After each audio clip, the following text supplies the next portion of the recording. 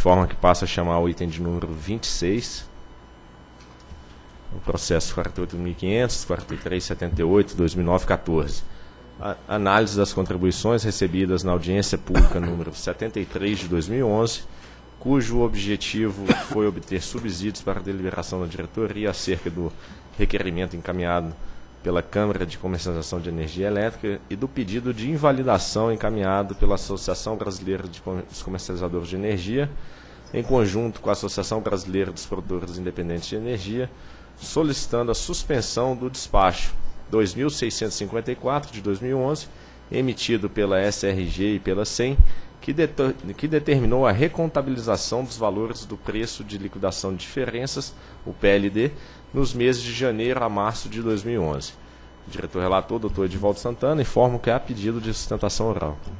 A chamada é quase um voto. Né? Em 18 de 5 de 2011, conforme carta, o ONS relatou dois problemas detectados nas versões 5.3 e 5.3 NS do programa Previvais, as quais tinham sido submetidas à aprovação da ANEL. Um dos. Aliás, esse relatório é praticamente o mesmo quando da abertura da audiência pública, só tem alteração no final. Um dos problemas abrangeria também a versão 5.21 do mesmo programa, atualmente em vigor no processo de previsão de invasões para o Programa Mensal de Operação. Segundo a ANS, foram afetados pelo problema os PMO de janeiro, fevereiro e março de 2011. Tal fato ocasionou a formação incorreta do custo marginal de operação e, consequentemente, do PLD no referido período. Em 24 de 6 de 2011, com base na motivação exposta na nota técnica 38, conjunta da SEM e da SRG, essas duas superintendências, do uso da competência delegada pela Portaria 798 de 2007, emitiram o despacho 2654, que em seu inciso 2 determina a CCE que recalcule o PLD de cada semana operativa correspondente e proceda à recontabilização nos casos em que houver diferença entre o valor do PLD recalculado e o original. Em 28 de 7 de 2011, por meio de correspondência, a CCE apresentou esclarecimento quanto às repercussões no mercado é, quanto aos efeitos do despacho 2654-2011. Ao final, requereu como medida cautelatória de segurança e preservação do mercado a suspensão dos efeitos da parte final do inciso 2 do despacho 2654, de modo que seja suspensa a determinação para a CCE efetuar a recontabilização dos meses de janeiro a março de 2011, considerando os novos valores DPLD.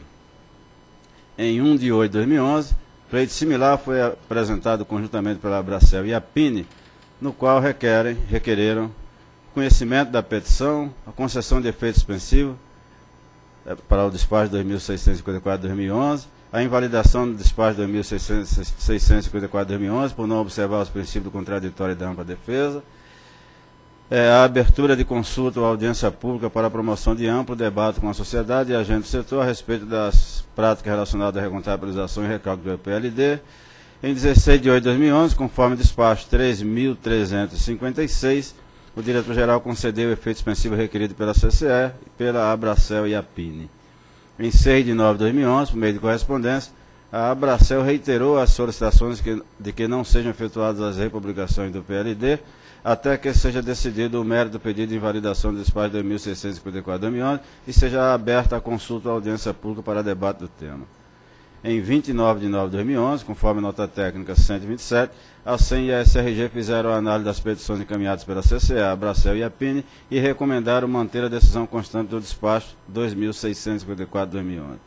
Em 6 de 12 de 2011, na 46ª reunião pública da diretoria, quando da fase de discussão, acatei sugestão de que o tema fosse submetido à audiência pública por intercâmbio documental, o que foi feito entre os dias 8 e 23 de 12 de 2011, sendo os documentos básicos para a mesma as notas, uh, notas técnicas 38 e 127 SRGC e o meu voto. Como resultado da AP 73 de 2011, a SRG e a SEM emitiram a nota técnica 009-2012, de 15 de 2, mas antes ouvindo a Procuradoria-Geral, que se manifestou pelo parecer 35, também de 2012. É o relatório. A sustentação oral será feita pelo Dr. Cláudio Girardi, representando a Abracel, a Pine, a Biap, a Abrace, a Nasce, a Abragef e a Beólica. Senhor diretor-geral, senhores diretores, senhor procurador-geral, senhor secretário-geral. Inicialmente, queríamos aqui agradecer em especial o, o relator desse processo, o diretor Edivaldo, por ter acolhido o pedido de audiência pública, oferecendo assim, em sua maior amplitude, o direito de ampla defesa da, dos agentes eh, envolvidos nessa questão. Uh, em nome das associações Abracel, Apine, Abiap, Anace, Abrace, Abeólica e Abragef, é que trazemos hoje para a reflexão dos senhores diretores mais alguns argumentos, em especial aqueles que foram oferecidos à contribuição, como contribuição à audiência pública, para uma reflexão dos senhores no sentido de que se convençam na, na, na, quanto à preservação dos contratos celebrados de comercialização de energia elétrica, que tiveram como base o PLD publicado pelo setor, ou seja, o preço da liquidação de diferenças que balizou a, a, a celebração desse contrato em sua maior ou menor quantidade, volume de energia comercializada. A preocupação das associações, senhores diretores, e queremos ser também desta agência do ANS e da Câmara de Comercialização é no sentido de dar maior confiabilidade ao processo de definição do PLD, de modo que, uma vez estabelecido e publicado, o seja em caráter definitivo, evitando assim as imensuráveis consequências das republicações e recontabilizações sobre os contratos de comercialização de energia pactuados.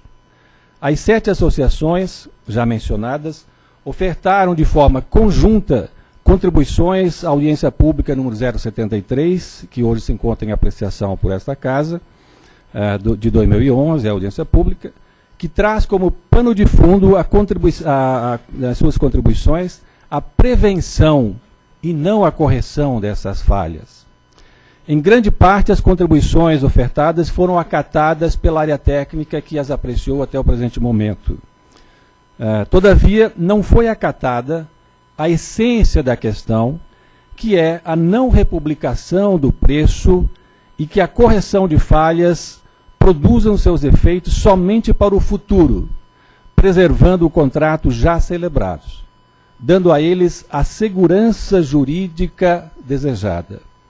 Senhores diretores, o princípio da segurança jurídica, atualmente observado a nível do Judiciário Nacional, é tido por Celso Antônio Bandeira de Mello, um dos maiores administrativistas do país, como um dos maiores princípios, se não o maior princípio, que se sobrepõe às leis nacionais. Os princípios jurídicos estão acima das próprias leis.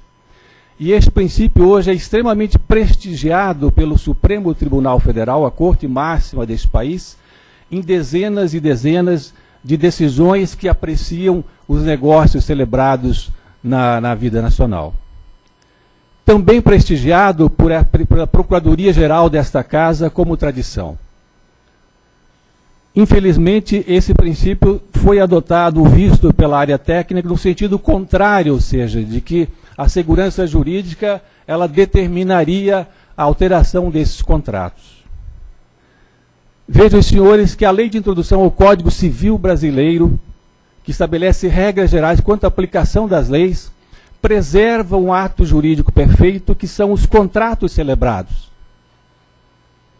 E a decisão desta casa, a prevalecer, conforme o despacho das superintendências, ferirá de morte o princípio da segurança jurídica, pois atingirá a alma desses contratos, que é o preço que serviu de base para a celebração da comercialização da energia elétrica praticada.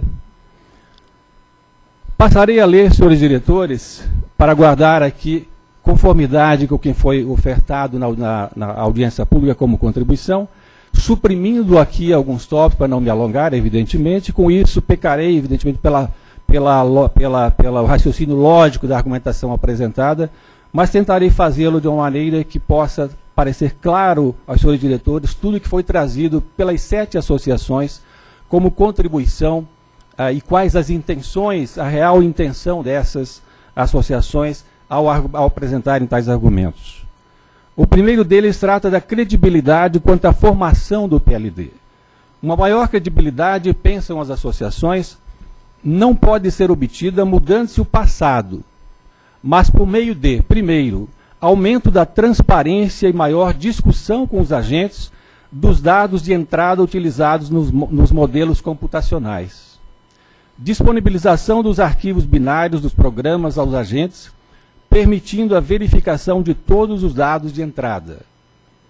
Auditoria eficaz e transparente com a divulgação pública dos resultados, conforme determina a resolução normativa desta agência, número 455 de 2011 Abertura gradual do modelo de simulação do despacho hidrotérmico para a formação do preço de curto prazo. Identificação do, fa do fato gerador dos erros responsáveis e etapas do processo, possibilitando o aprimoramento nos processos vigentes.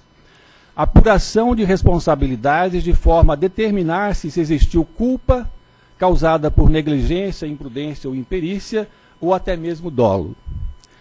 As decisões comerciais dos agentes de compra, uh, dos agentes de compra, venda e consumo de energia foram sempre tomadas considerando o preço público de liquidação de diferenças e não podem, por isso, serem revistas, porque já produziu, produziram efeitos jurídicos e consequências econômicas nas empresas. Os agentes não têm acesso ao código de fonte do programa, embora tenha sido determinado pela resolução ANEL número 351 de 1998. Cabe destacar ainda que o problema de detectado nos dados de entrada do Previvaz não pode ser caracterizado como um erro da administração pública, não é a agência que está cometendo o erro, mas sim um agente fiscalizado por esta agência. Entendemos que a republicação do PLD fere a Lei 10.848, uma vez que o PLD deve refletir o despacho físico das usinas. E uma vez realizado o despacho, o preço não pode mais ser republicado, dado que o despacho físico das usinas não pode ser modificado. Aliás, este foi o argumento utilizado pelo ilustre diretor Julião na reunião que precedeu a esta e colocou o, o, o assunto em audiência pública. O argumento de que as recontabilizações da Câmara são frequentes e que é natural que haja alteração na posição dos agentes envolvidos, fundamentado no procedimento de solicitação de recontabilização definido em procedimento de comercialização, não deve prosperar, porque o, o escopo das recontabilizações atualmente solicitadas pelos agentes do mercado são realizadas prioritariamente em função de alteração de parâmetros dos contratos registrados naquela Câmara. Não há espaço para que os agentes solicitem recontabilização alegando erro no PLD. Por isso, não é adequado alegar a existência do PDC de recontabilização como justificativa de que o mercado está habituado e pode suportar qualquer tipo de recontabilização. As contabilizações solicitadas pelos agentes, conforme procedimentos de, de comercialização em geral, têm efeitos limit, limitados ao grupo de agentes envolvidos nos contratos alterados, não sendo comparável com os efeitos oriundos da decisão do despacho 2654 de 2011. É importante destacar que a posição de não republicação do PLD não significa ausência de ação fiscalizatória por parte da ANEL ou impunidade ao erro. Defendemos sim a apuração de responsabilidades de forma a determinar-se se existiu a culpa, como já mencionamos, e até mesmo o dolo.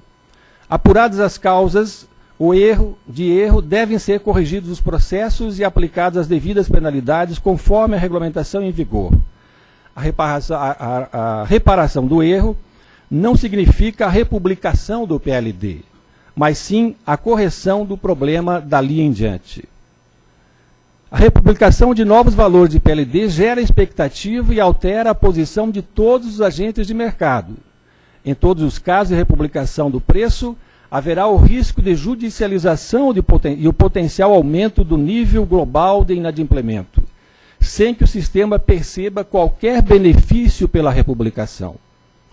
O erro deve ser apurado, ser celeremente sanado, produzindo efeitos já nos PLDs subsequentes. A republicação de PLDs de, PLDs de preços históricos é enxergada como um risco adicional e não como benefício, independentemente se haverá ou não a recontabilização, e de qual seja o fato gerador dos cálculos. Por todo exposto, senhores diretores, a nossa contribuição é no sentido de ratificar-se o pedido de invalidação do despacho 2654-2011, interposto uh, pela Abracel e inicialmente pela PINE e depois ratificado por outras cinco associações, como aqui já mencionadas. No bojo da consulta pública, as associações que subscrevem esta contribuição sugerem que seja submetida à sociedade minuta de ato da agência que contemple os seguintes aspectos: aprimoramento dos mecanismos de forma a garantir a transparência e reprodutibilidade no processo de formação de preços dar publicidade aos laudos da auditoria independente contratada para analisar os dados de entrada do PMO e nas suas revisões, conforme estabelecido pela Resolução 4, 455 de 2011. Finalmente, entendemos também que não há previsão legal para a recontabilização e republicação de valores do PLD com efeitos ex-tunc ou ex-nunc.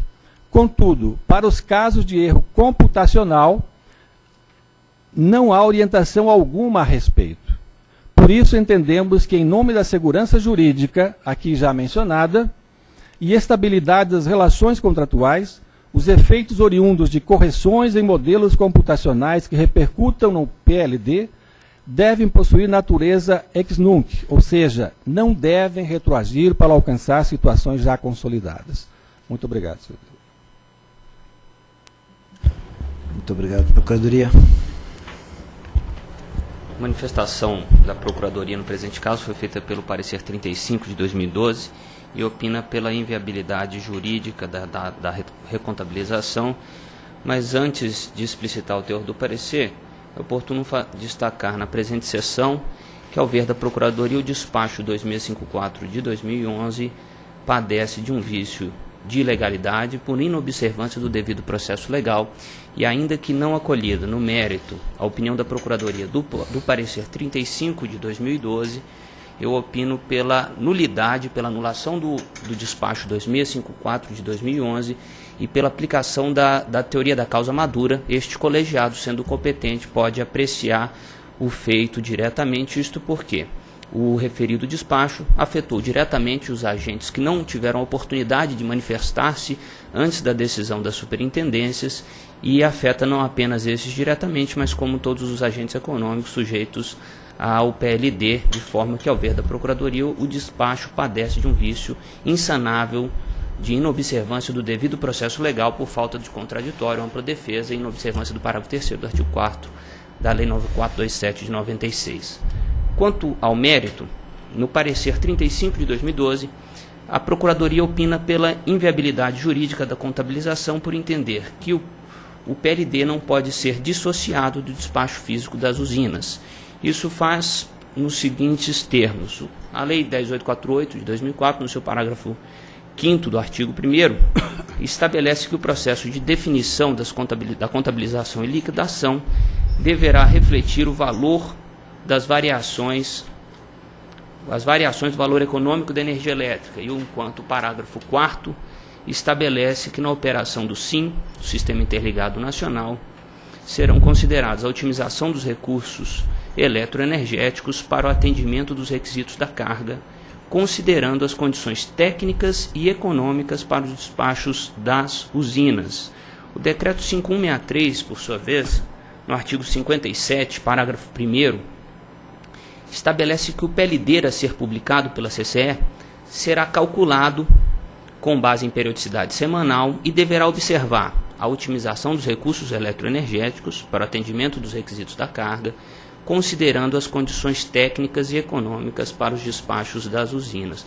Não significa dizer, ao ver da Procuradoria, que nenhuma recontabilização possa ser feita do PLD, mas, ao ver da, da Procuradoria, o PLD deve refletir o despacho físico das usinas e, se erro houve no sistema computacional que determinou um despacho equivocado, não há mais como se alterar a situação de fato consolidada do fato da vida físico do despacho destas usinas, aplicando assim a Procuradoria a teoria do fato consumado já é acolhida por os tribunais superiores brasileiros.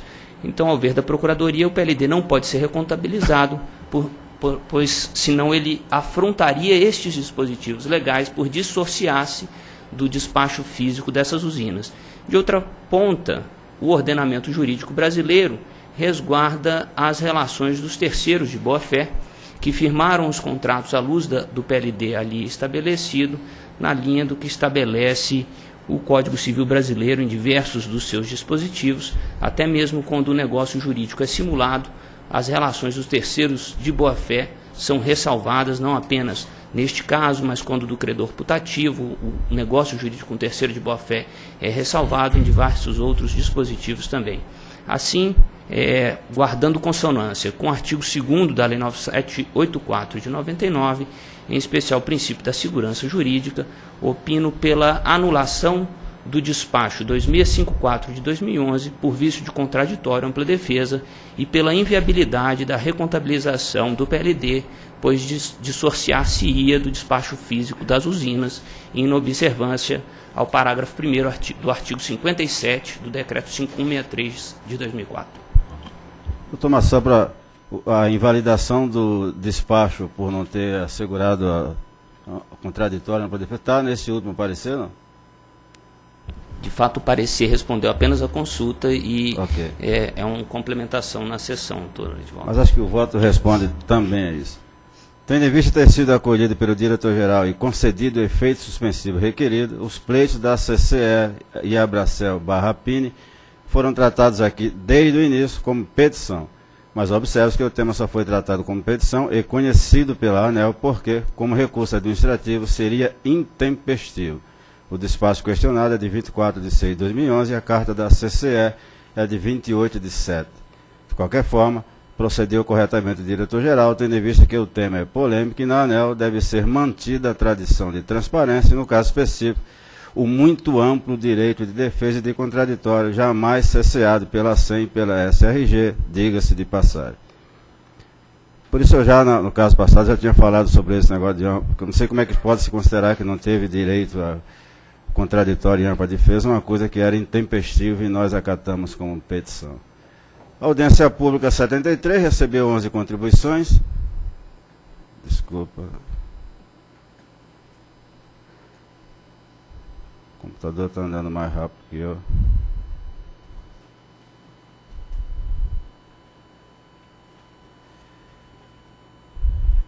sendo uma delas, sendo que uma delas foi conjunta, envolvendo sete associações aí listadas, a SEM e a SRG pela nota técnica 9 de 2012, daqui em diante apenas NT, rebatem de maneira muito consistente cada um dos pontos abordados em todas as contribuições. Com efeito, nenhuma contribuição, incluindo as da CCA e do ANS, foi diretamente favorável à recontabilização defendida pela SEM e SRG e este relator. Porém, a exemplo da SEM e da SRG, não fico desconfortável ou inseguro em apresentar uma posição contrária à quase unanimidade, pois temos fortes, fortes e seguros argumentos e razões para isso. A propósito, não tenho como evitar repetir argumentos que já apresentei na reunião da diretoria do dia 6 de 12, uma vez que a nota técnica mostra que os mesmos, apesar de contestados na audiência pública, não merecem ser afastados, mas reforçados. Deixo claro, de qualquer forma, que de qualquer ponto de vista, jurídico, regulatório, pessoal, etc., é péssimo recomendar medidas que significam refazer coisas, sobretudo quando podem impactar transações financeiras bilaterais já realizadas e realizadas supostamente sob a supervisão daquele órgão que, em um dado instante, não concorda com o que foi feito. Nesse contexto, não é nem um pouco natural a posição de quem recomenda refazer, pois foge à ordem natural das coisas e envolve terceiros. No meu voto anterior, que abriu e foi submetida à audiência pública, deixei claro que a recontabilização, caso aprovada, pode afetar contratos já liquidados e contabilidade de compradores e vendedores. Afeta contratos firmados para suprimentos futuros, tem repercussão tributária e fiscal e pode tornar imprevisíveis os resultados para o mercado de curto prazo. Mas também deixei claro que, um, tudo isso aconteceria qualquer que fosse o motivo da recontabilização, e dois, exatamente em função desses efeitos indesejáveis é que não poderiam restar dúvidas sobre a correção do cálculo do PLD. A análise do resultado da AP, conforme mostra a nota técnica, reforça esta posição, se não vejamos. A SEM e a SRG começam a analisar as contribuições a partir de uma delas, a da CEMIG, que transcrevo em parte. Aí diz a CEMIG, a nosso ver, a posição da ANEL expressada através da nota técnica 127 e do voto do diretor do processo está coerente com a regulamentação e com decisões anteriores, como mostra o apanhado sobre recálculo do PLD e contabilizações realizadas desde 2008. A CEMIG apresenta uma tabela com 15 recálculos de PLD, sendo oito no decorrer de 2011. Essas alterações do PLD decorreram de decisões da ANEL, de comando do ONS, da CCE, e quase todas foram realizadas antes mesmo do fechamento do mês para efeito de contabilização, o que minimiza muito os efeitos para os agentes envolvidos. Certo, foi depois da semana, mas foi antes de fechar o mês. Como é ressaltar que tais recálculos do PLD não foram apenas para correções de alguns aspectos específicos envolvendo um número limitado de agentes, como argumento o conjunto de associações, a Bioenergia Comercializadora, a Electri e a Trade Energy. Elas ocorreram, decorreram de fatores que sempre fizeram parte do elenco de motivações para alterações do PLD, como erros na entrada de dados nos modelos que determinam o CMO e o PLD. Portanto, aí já de pronto não é novidade o recálculo do PLD, como tentou mostrar o doutor Cláudio Girard que aliás eu ia perguntar para ele, mas faço agora, se ele se lembra de quando era procurador-geral aqui da ANEL, de ter assinado algum parecer aprovando recontabilização. Mas não vou perguntar, só comentar. A nota técnica chama a atenção para a recontabilização decorrente do comunicado SUP-CCE número 31 de 2011, de 10 de 3, que recalculou o PLD e recontabilizou todo o período entre fevereiro e outubro de 2010 Aliás, isso está na contribuição da CEMIG. E pasmem, a justificativa do comunicado para o procedimento era atender aos princípios da transparência e neutralidade que norteiam a atuação da empresa no mercado. Mas a ANEL não recebeu qualquer questionamento quanto à decisão da CCE, que envolveu 10 meses, sequer recebeu argumentos quanto à insegurança jurídica, imprevisibilidade, etc., dado que os faturamentos já teriam sido efetuados com todos os efeitos tributários. Claro que aquele caso específico tratava de uma diferença de PLD em torno de 1%, mas não é o valor que deve determinar a transparência e, sobretudo, a neutralidade. Se preservar a neutralidade é necessário se para, né? Preservar a neutralidade é necessário determinar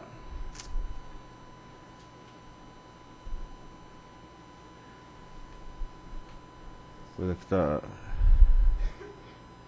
Acho que a coisa aqui está num, num software, na versão do Word, melhor do que a minha.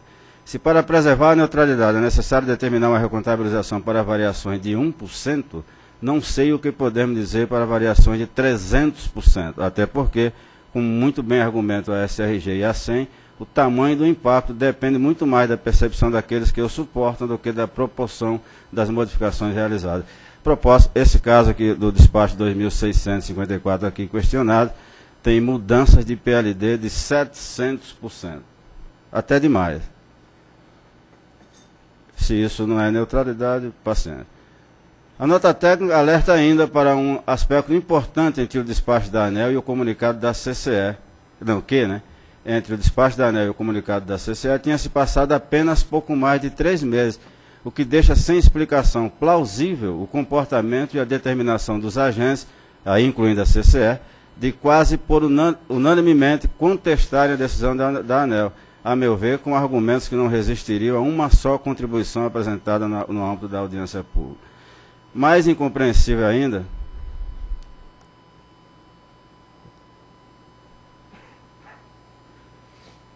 um problema aqui no meu, ou no mouse ou no, mais incompreensível ainda é a posição da CCE, que, junto com a ANEL, deveria lutar pela qualidade do que é calculado, como fez, por exemplo, com o comunicado SUP-CCE 031 de 2011.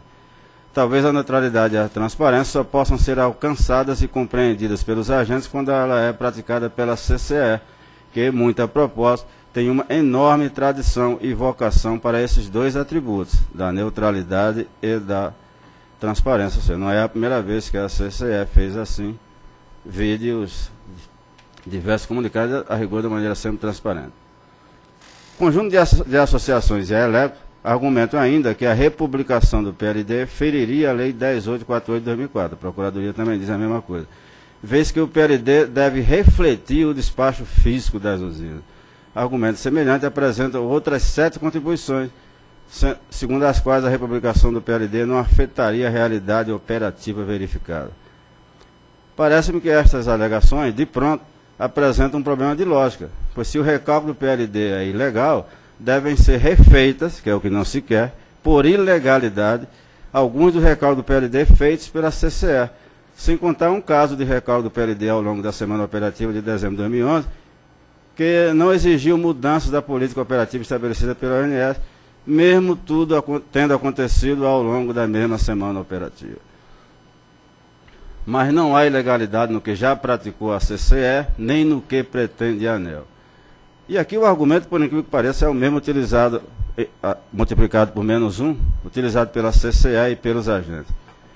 Primeiro, pelo que diz, pelo que diz o próprio inciso 1 do parágrafo 4 do artigo 1 da referida lei, que transcrevo, parágrafo 4, na operação do Sistema Interligado Nacional serão considerados, grifeios serão considerados, a otimização dos recursos eletroenergéticos para atendimento aos requisitos da carga. Ora, se há um problema, erro, na execução do programa de previsão de vazões, e não esqueçam que o nosso sistema é primordialmente hidrelétrico, então a política operativa de mínimo custo resultante não é ótima, pois não ficou caracterizada a otimização dos recursos.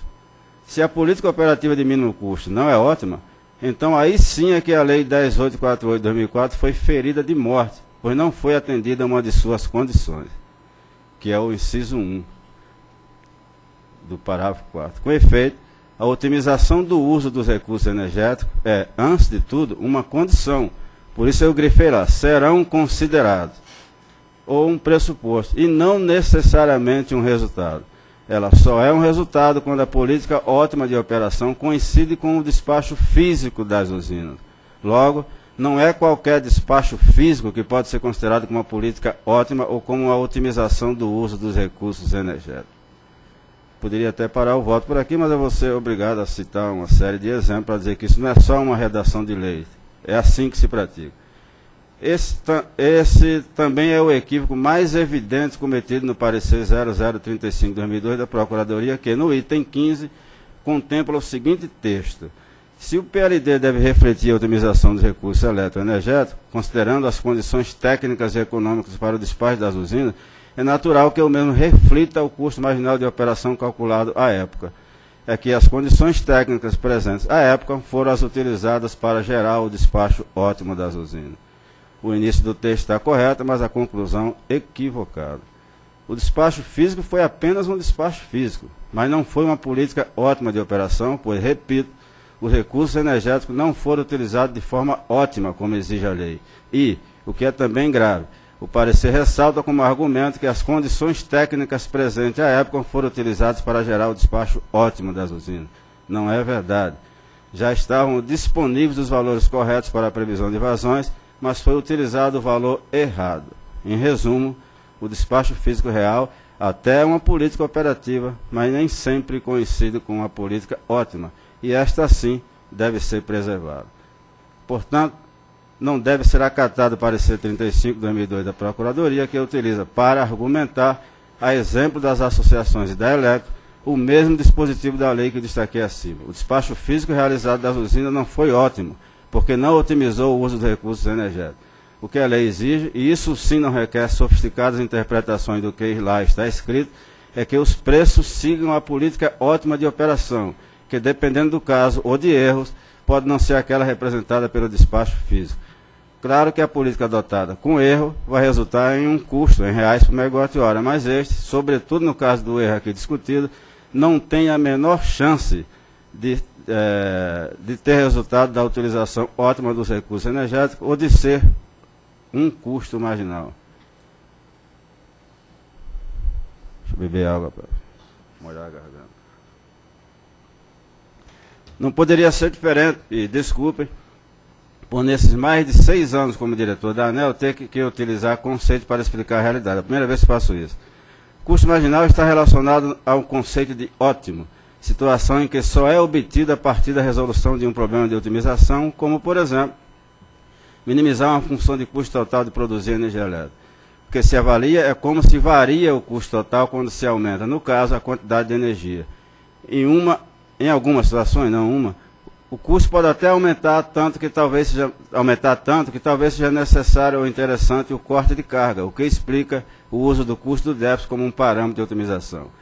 Seguindo nesse raciocínio, quando o custo total é mínimo, seu valor dividido pela quantidade de energia resulta no custo marginal, que, repetindo, representa a variação do custo total quando se varia a quantidade de energia, que muitos chamam de a derivada do custo total em relação à quantidade.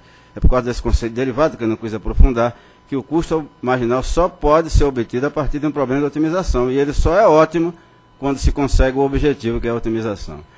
Assim, um despacho físico qualquer, isto é, que não representa a função de custo total no seu ponto de mínimo, não resulta em um custo marginal. É simplesmente um custo unitário. Mas, suponha-se que o erro, agora é uma ilegalidade, seja mantido. O programa base de definição dos custos marginais utiliza como base teórica a programação dinâmica estocástica. Aí outra teoria que eu também fui obrigado a colocar. Em tal base teórica, a política ótima de operação é, resumidamente, obtida recursivamente, ou seja, de trás para frente, a partir de centenas ou milhares de possibilidades de cenários, configurações ou casos, com realimentações para cada etapa ou cálculo seguinte. Nestas circunstâncias, a política ótima de operação é determinada considerando as consequências futuras de cada decisão presente, ou seja, a política só é ótima quando quantificado e internalizado ao modelo computacional o impacto de cada decisão sobre os custos futuros. Assim, uma decisão operativa de hoje afeta os custos marginais futuros, por isso ela não pode ser mantida quando apresenta erros. É claro que na medida que isso é corrigido, dali para frente, não tem mais realimentação negativa, mas enquanto não for corrigida, o erro se perpetua. Sobre esse aspecto, vejam o que diz o relatório do PMO de fevereiro de 2012. A otimização do planejamento da operação tem por função objetivo minimizar o valor esperado do custo total da operação do sistema no período de planejamento. A função de custo futuro, que é a FCF, indica a estratégia ótima a cada mês em função de até 28 variáveis de estado do sistema, energia armazenada e 6 energias afluentes passadas para cada sistema. Aí ele diz mais, na figura 14 a 17 estão plotados os valores de CMO versus energia natural afluente do mês anterior e de CMO, CMO é custo marginal, e energia armazenada para cada subsistema do 143, etc, etc. Isso aqui é só para dizer, o CMO do mês anterior, se for errado, vai continuar sendo utilizado para os meses seguintes, configurando novos cenários errados. FCF significa função de custo futuro, CMO é o custo marginal de operação. Observe que o CMO é utilizado em relação a duas outras variáveis, a energia natural afluente e a energia armazenada, essenciais para o acoplamento das decisões passadas com as futuras. Então não é um, nós não temos essa assim tanto uma opção de mudar só por uma, mesmo que a, a mudança fosse conveniente. Complementamento, é, apresenta o argumento da nota técnica que se baseia no parágrafo 5 do mesmo artigo, ou seja, é também é, questionado pelos agentes e pela Procuradoria aqui, que também transcreve. A, leitura é completamente diferente do que faz a Procuradoria e os agentes. Nos processos de definição de preços de contabilização e liquidação serão utilizados intervalos de tempo e escala de preços previamente estabelecidas que deverão refletir as variações do valor econômico da energia elétrica, observados inclusive os seguintes fatores. Dentre os fatores, aí está lá na lei, está é o primeiro, o inciso 1 do parágrafo 4 do artigo 1 que é aquele que trata lá da utilização ótima dos recursos eletroenergéticos. Em outras palavras, se não está caracterizada a política operativa ótima e não o despacho físico das usinas, então o preço resultante não estaria relacionado com as variações do valor econômico da energia elétrica. Por isso ele não deve ser válido. E para isso não há a menor exigência de se refazer o impossível, que é o despacho físico das usinas. É desnecessário, mas ressalto a título de ilustração que, além do que já destaquei nos cinco últimos parágrafos deste voto, continua em vigor o artigo 13 da Lei 5899 de 73, conhecida como Lei de Itaipu, que também define o que significa otimização do uso dos recursos energéticos. A exigência de que o preço, CMO ou PLD, siga, sobretudo, a política ótima de operação e não o despacho físico, é seguida pela ANEL desde que foi aprovada a primeira regra de mercado em agosto de 2000, que seguia a Lei 9648.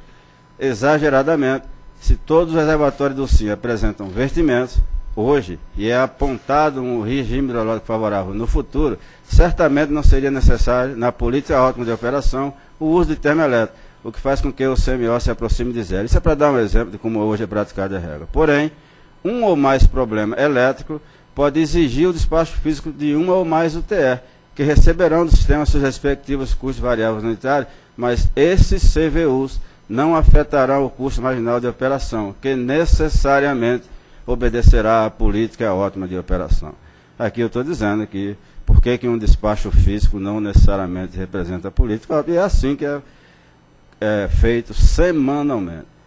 Como ilustração, a política de operação para a semana entre 25 de 2 de 2012 e, 20, e 2 de 3 de 2012, ou seja, a presente semana, indica o despacho de 5 reais por hora de mérito, portanto, formando preço. PLD no Sudeste, acho que esse valor carga média ou pesado, está em R$ 73,13 por megawatt-hora. Mas a Termonorte 2, que também é no Sudeste Centro-Oeste, que também é fisicamente despachada para essa semana, não forma preço, pois no despacho ótimo, aquele que minimiza o custo total de operação do sistema, tal usina não seria necessária. Faz parte das primeiras lições do livro de Economia de Regulação, no Brasil, disciplina lecionada apenas no curso de pós-graduação, entender para que serve o regulador o regulador é útil para proteger os participantes de um mercado de quatro tipos de falha de mercado, sendo uma delas a assimetria de informações. Darei é, mais um só exemplo, bem simples e apropriado. Suponha-se um sistema hipotético com três usinas, duas hidrelétricas e uma termoelétrica. Como o preço é semanal e calculado ex ante, como o nosso, a previsão de vazões para a semana seguinte é estimada pelas hidrelétricas. No Brasil não é mais assim, agora é um programa, que é exatamente esse programa onde aconteceu o erro. Supõe que seja informado o valor de 500 metros cúbicos por segundo para o HE1, na semana seguinte, quando já se tem os dados reais, constate que a vazão efetiva para tal usina foi de 5 mil metros cúbicos por segundo, 10 vezes mais. O operador, por ter despachado termoelétrica desnecessariamente, pois o recurso energético não for utilizado de forma ótima, que é o que determina o inciso 1 do parágrafo 4 do artigo 1 da lei, o custo marginal pode ter sido muito maior do que o que deveria. Não refletir os valores econômicos da energia elétrica, que é o que determina o parágrafo 5 do artigo 1 da mesma lei. E o HE2 pode ter indevidamente doado energia para o HE1. Aqui o meu exemplo é próximo do real, como se existisse um MRE. Como o dono da hidrelétrica tem melhores informações do que o operador e regulador, será que não cabe investigar a prática? O custo marginal resultante levou em conta a otimização dos recursos energéticos? Sabem o que aconteceria se a UH1 estivesse pouco contratada? Eu digo, se ela tivesse pouco contratada, o PLD ia subir, ou o CMO, e toda a parte descontratada dela seria uh, valorada a este valor, liquidada a este PLD, que pode chegar a valores estrondosos. Como não se sabe se a ação foi dolosa ou não, será que, na ocorrência desse caso hipotético, não cabe determinar que os cálculos sejam sempre refeitos? As associações que apresentam uma contribuição em conjunto fizeram uma muito infeliz analogia entre o que a ANEL quer praticar agora e o que praticou no episódio da neutralidade da parcela A. Para elas, a ANEL identificou que a equação utilizada no reajuste da tarifa não, não apresentava resultado neutro, mas quando a modificou, fez apenas para frente, sem efeitos retroativos. As associações talvez tenham esquecido que naquele caso não havia qualquer erro ou ilegalidade, o que explica a não retroatividade. A ANEL simplesmente cumpria o contrato de concessão. A nota técnica, sim, apresenta um muito, uma muito feliz comparação com o caso em discussão. Por suposição, a ANEL, ao calcular a tarifa de uma utilizou para atualizar a parcela B a variação anual do IPCA e não do IGPM. Mesmo que isso tenha sido descoberto apenas seis meses depois, os cálculos tarifários deveriam ser republicados retroativamente, mesmo que os consumidores já tenham feito suas opções de consumo e que as faturas já tenham sido emitidas. Muitas vezes, o que a ANEL faz, a distribuidora, é no próximo reajuste, faz um encontro de contas, não reemite fatura, mas a norma, seja lá quando ela for publicada, é retroativa. Subjacente aos argumentos contrários apresentados no decorrer da AP, está a suposta insegurança jurídica que resultaria em refazer uma coisa que já teve vários efeitos. Não sou operador do direito, Por isso sequer tive como encontrar uma bibliografia que trate do tema segurança jurídica. Não sei a disciplina que aborda o assunto. Aqui é ignorância mesmo. Mas se soubesse, certamente encontraria um renomado jurista que daria o conceito geral de segurança jurídica. Porém, esse mesmo jurista ou outros diria, como termos com termos gerais, que um não é insegurança jurídico, regulador e fiscal da operação do sistema e do preço resultante constatar ou ficar sabendo de um erro ou uma ilegalidade e corrigi-lo, não é insegurança jurídica não permitir a desmoralização ou banalização dos procedimentos e forma de cálculo dos custos marginais e do preço resultante. 3. Não é insegurança jurídica não aceitar que outros possam decidir por refazer o que já foi, o que foi feito, afetando o contrato, menos o regulador e fiscal. E 4. Não é insegurança jurídica deixar claro que, se constatado erro ou a ilegalidade, será determinada a correção mesmo que os efeitos não sejam desejáveis, inclusive para regulador e fiscal. Eu, por exemplo, acho que nada disso é desejável. Claro que, como diz a Procuradoria, modificar retroativamente o PLD afeta uma situação passada. Contudo, isso não significa que foi atingida a segurança jurídica. Na minha muito limitada compreensão da ciência do direito, a insegurança jurídica está relacionada com decisões de surpresa, com a mudança de direção no tratamento de determinados assuntos.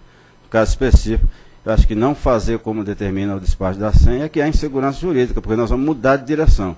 O que sempre foi feito, e a palavra é sempre, com todas as letras maiúsculas, é recalcular o PLD quando acontece. Segurança jurídica, que no caso seria irmã gêmea da insegurança regulatória e prima irmã da incompetência e fragilidade do regulador, é não agir tal como no despacho SRG 100.654-2011 ou fazê-lo de forma a surpreender, isto é, adotar de surpresa uma medida que jamais foi feita. Não houve surpresa. Aí aqui estou repetindo, apenas em 2008 e 2011 foram 15 as alterações do PLD já praticadas, pelo menos uma com recutabilização e sem qualquer questionamento por parte dos envolvidos, mesmo para aquela mudança que foram determinadas pelo ANEL. A surpresa é não fazer tal como determinaram a CRG e a SEM, que seguiram o padrão, isto é, não mudaram de direção. Que eu ia deixar para depois, mas essas coisas não resultam também só de, de decisões da SAM e da SRG ou da própria CCE. Em agosto de 2011, nós tomamos uma decisão aqui na diretoria, que é aquela resolução que não permitiu que o Ministério mudasse a, interpretação da resolução 440, que é aquela que trata de como, como é que deve ser representada a energia das PCHs, e a nossa decisão tomada dois, três meses depois, significou recontabilizar e recalcular o PLD com diferenças razoáveis, de mais de 30%.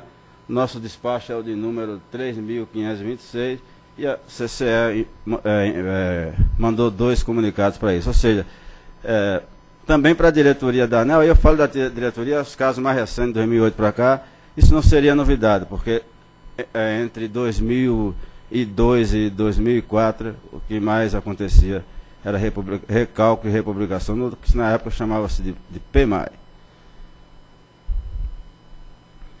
Não compreendo como a Procuradoria, em seu parecer, a partir da citação de casos como da teoria das nulidades aplicados a contratos regidos pela Lei 8666-91, de casos de aprovação em vestibular sem concluir o ensino médio, e de casos de realização de prova de OAB, pode extrair conclusões para que seja mantida a situação já consolidada pois o passado não poderia ser modificado. Primeiro, como já destaquei exaustivamente, não se pretende modificar o passado, que foi a premissa equivocadamente utilizada pela PGE, a exemplo das associações da ELEC, que vincula o despacho físico à PLD.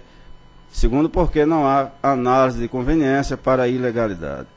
A Procuradoria teria inúmeros casos, objetos de pareceres dela própria, aliás, ótimos pareceres, para exemplificar como a ANEL tem se comportado para assegurar a segurança jurídica, falta a palavra aí. Cita apenas dois casos, os mais paradigmáticos. O primeiro é aquele que envolve a relação CELP e Termo Pernambuco, cujos efeitos do contrato de compra de energia foram considerados como passivo de equilíbrio econômico financeiro para a distribuidora, considerados pela diretoria da ANEL. Tempo depois, para o caso Coelce Termo Fortaleza, a diretoria da ANEL decidiu contrariamente, mas nem por isso foi reformada a decisão para o caso CELP não houve qualquer ilegalidade, apesar dos desgastes e das intimidações, até mesmo do ponto de vista pessoal. Segundo caso, mais conhecido, é o da neutralidade da parcela A, que já foi explicado antes. Não vou repetir, mas todos sabem que o desgaste que a ANEL passou, CPI, etc., mas manteve sua posição e uma das razões, pelo menos está no parecer da Procuradoria, e um dos meus votos para o caso é segurança jurídica.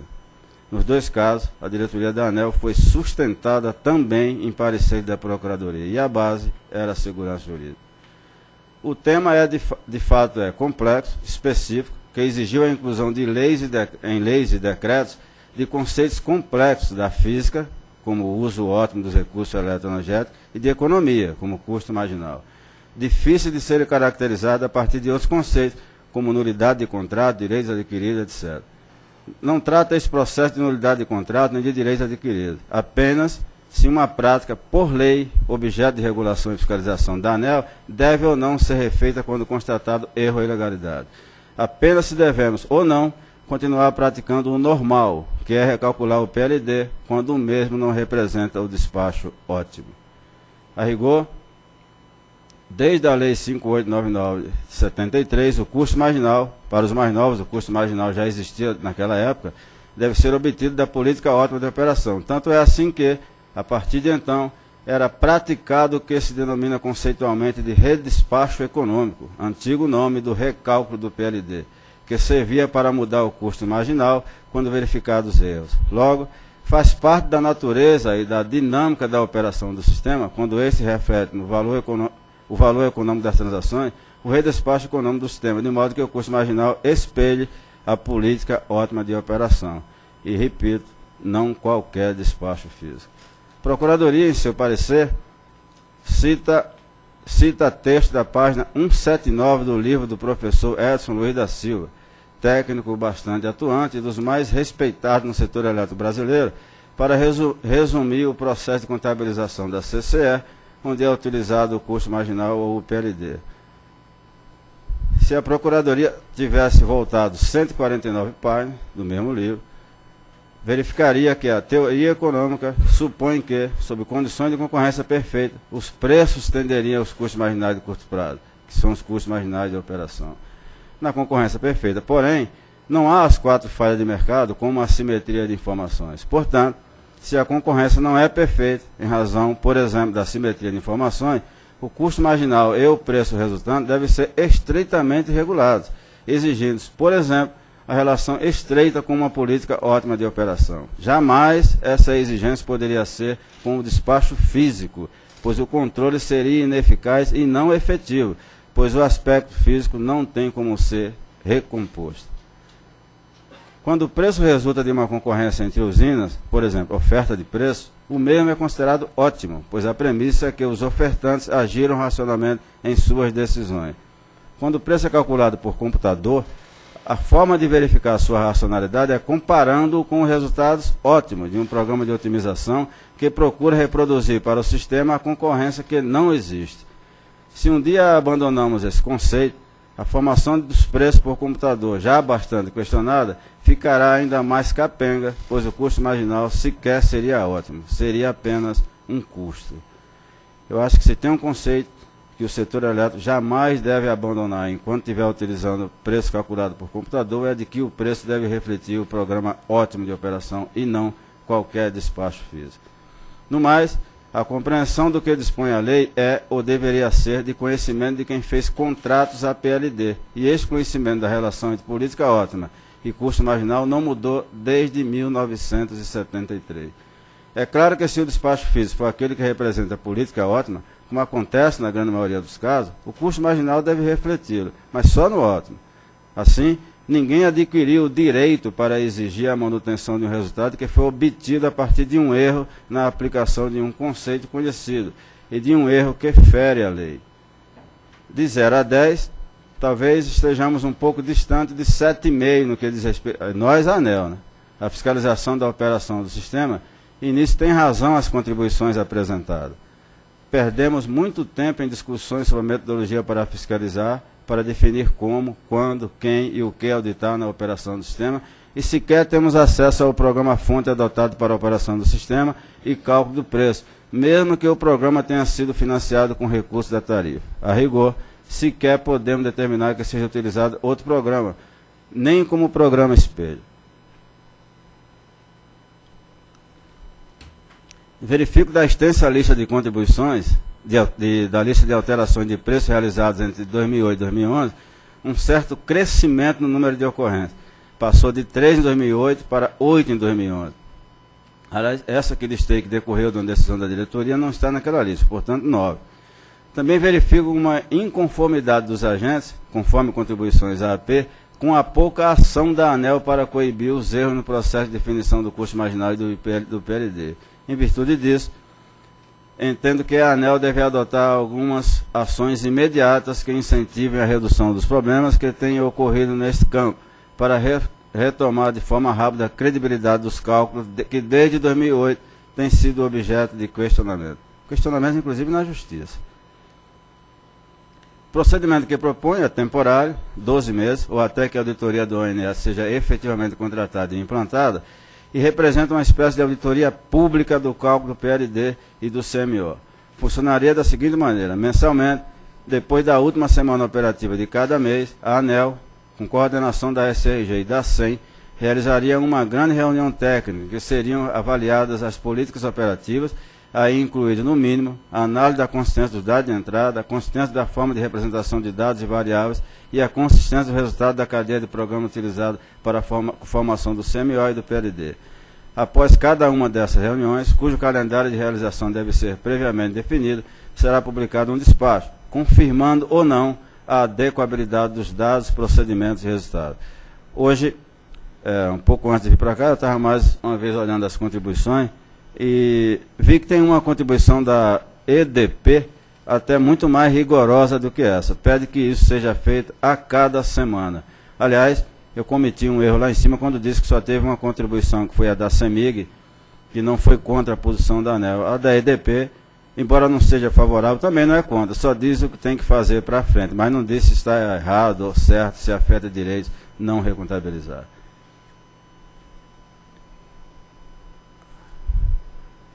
A minha proposta original era de que esses procedimentos simples que, que eu, a minha página aqui voltou lá para a primeira, eu tenho que ir aqui passo a passo. Estou num sofrimento aqui com. Que a Nara digitou o, o voto no programa que eu não tenho.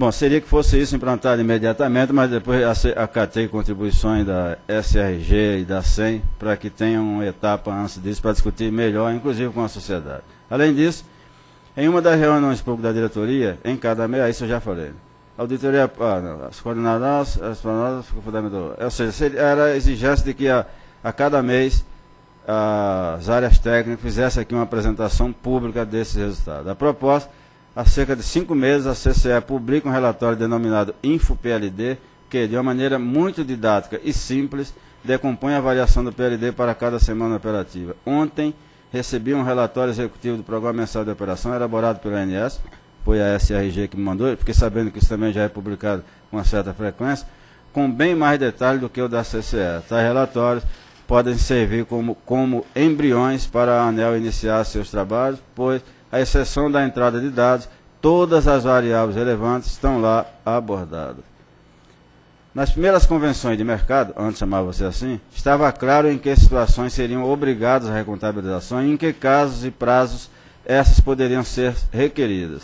Esses dispositivos foram excluídos quando dos aprimoramentos da convenção, que desde 2004 é de comercialização. Todas as contribuições a essa audiência pública, que estamos discutindo aqui agora, destaca que são necessárias essas definições, com o que concordamos, a SEM, a SRG e este relator. É necessária a abertura de um AP para discutir as condições que devem ser incorporadas à Convenção de Comercialização. A rigor, essa contribuição também da, da EDP é, não diz que isso tem que ser feito, e sim que estaria associado com o próprio dispositivo do decreto que manda a ANEL auditar, e diz, olha, faz a cada semana, não constatou nada, blindou, ninguém pode reclamar mais. Pode ser isso. Concluindo, não vejo, por todas as razões que apresentei nesse voto e naquele submetido à audiência pública, como não recomendar que seja mantida a decisão de recontabilização prevista no despacho questionado. Fazer diferente é como se a ANEL estivesse a permitir o descumprimento, pelo menos, do inciso 1 do parágrafo 4 da Lei 10.848-2004. Estamos, tra estamos tratando de transações no mercado regulado, sujeito, sujeitas a enormes assimetria de informações, e uma forma de agir contra tal falha de mercado é atuando exposta, como agora. Ao mesmo tempo, o sinal de que pode existir uma ação exposta contribui para aprimorar procedimentos de cálculo. Claro, como disse, eu acho que isso é indesejável, mas se não tem outro jeito. Se o PLD não for recalculado, com todos os efeitos daí decorrentes, é como se o preço praticado resultasse de uma política operativa fora do ótimo, o que seria um grave erro, tendo em vista o que, que não vislumbrei nos parágrafos 4 e 5 do artigo 1 da Lei 2848, dispositivos que permitam a formação do custo marginal do PLD a partir de uma política de operação que não seja ótima, isto é, que não represente, para efeito de formação de preço, o uso ótimo dos recursos energéticos eletroenergéticos. Vamos à leitura do dispositivo. Diante do exposto, que quanto processo 48.500.0043.78.2009.14, voto por manter a decisão constante do despacho SRG 100.2654-2011, que determinou a CCE que recalcule o PLD de cada semana operativa correspondente e proceda à recontabilização nos casos em que houver diferença entre o valor do PLD recalculado e o original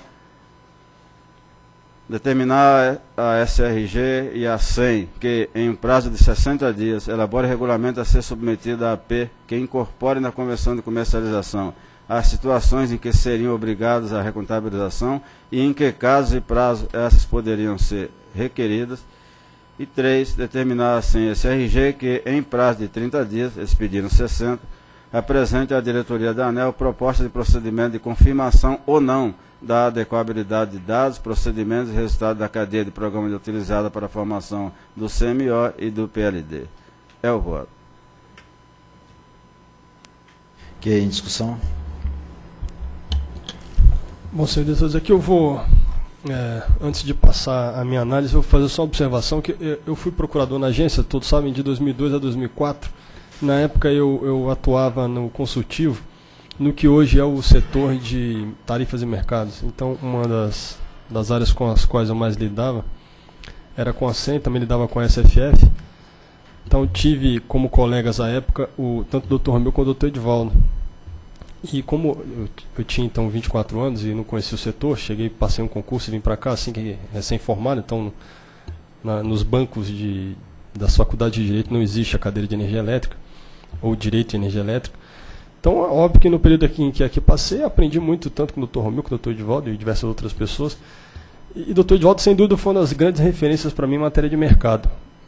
Mas hoje, Dr. Edvaldo, aquele que foi um dia aprendiz e que não deixa de ser, é, vai ter que divergir, por razões. É, é, a análise que faço da questão é diferente da razão que faz o Dr. Edvaldo.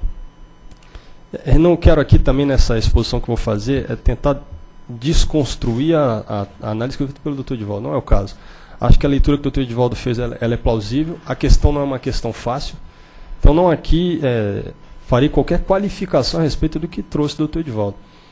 Mas apenas apresentar minha, minha visão sobre o assunto, que difere, difere um pouco da visão que foi apresentada pela Procuradoria, difere um pouco e difere frontalmente da que foi apresentada pelo Dr. Edivaldo. Mas antes, fazer uma observação que eu acho que é, é devida.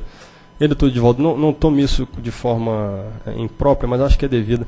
Uma vez, quando eu era advogado aqui na agência, advogado no setor e atuava perante a agência, eu fui questionado por um diretor publicamente sobre como teria obtido a vista de um dado documento que estava no processo.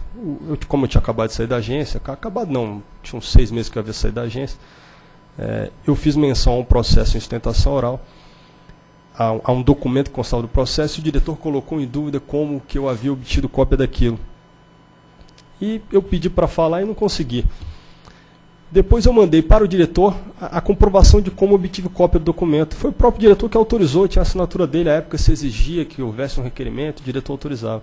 Aí o diretor me mandou é, por carta um pedido de desculpas, mas publicamente eu havia sido é, posto em. a minha conduta havia sido posto colocado em xeque.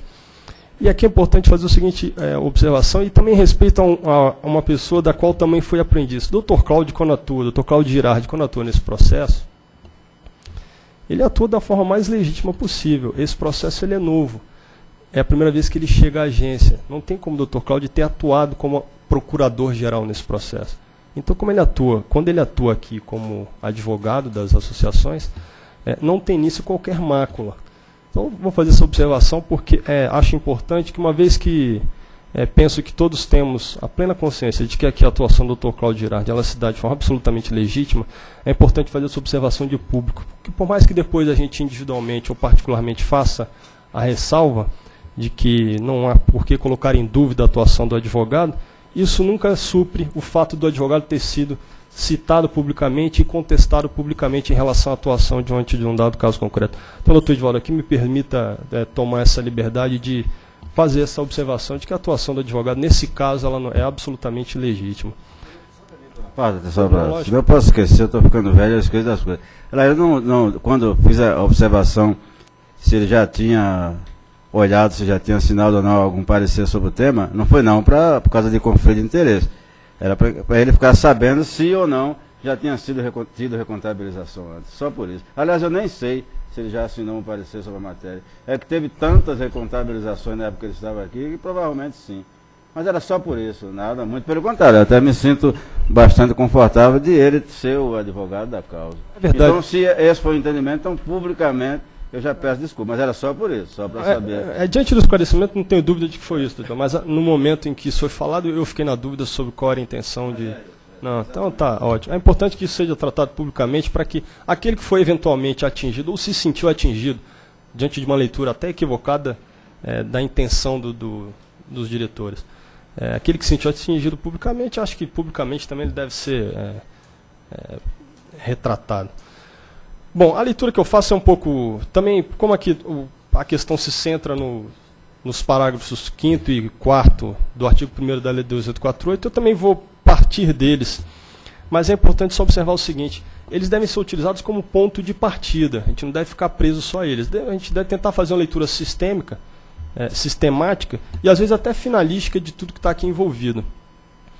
O, o, eu prefiro começar essa leitura, essa análise jurídica como ponto de partida, a partir do parágrafo 5 e não do parágrafo 4 como fez o doutor Edivaldo, porque é o parágrafo 5 que diz sobre preço.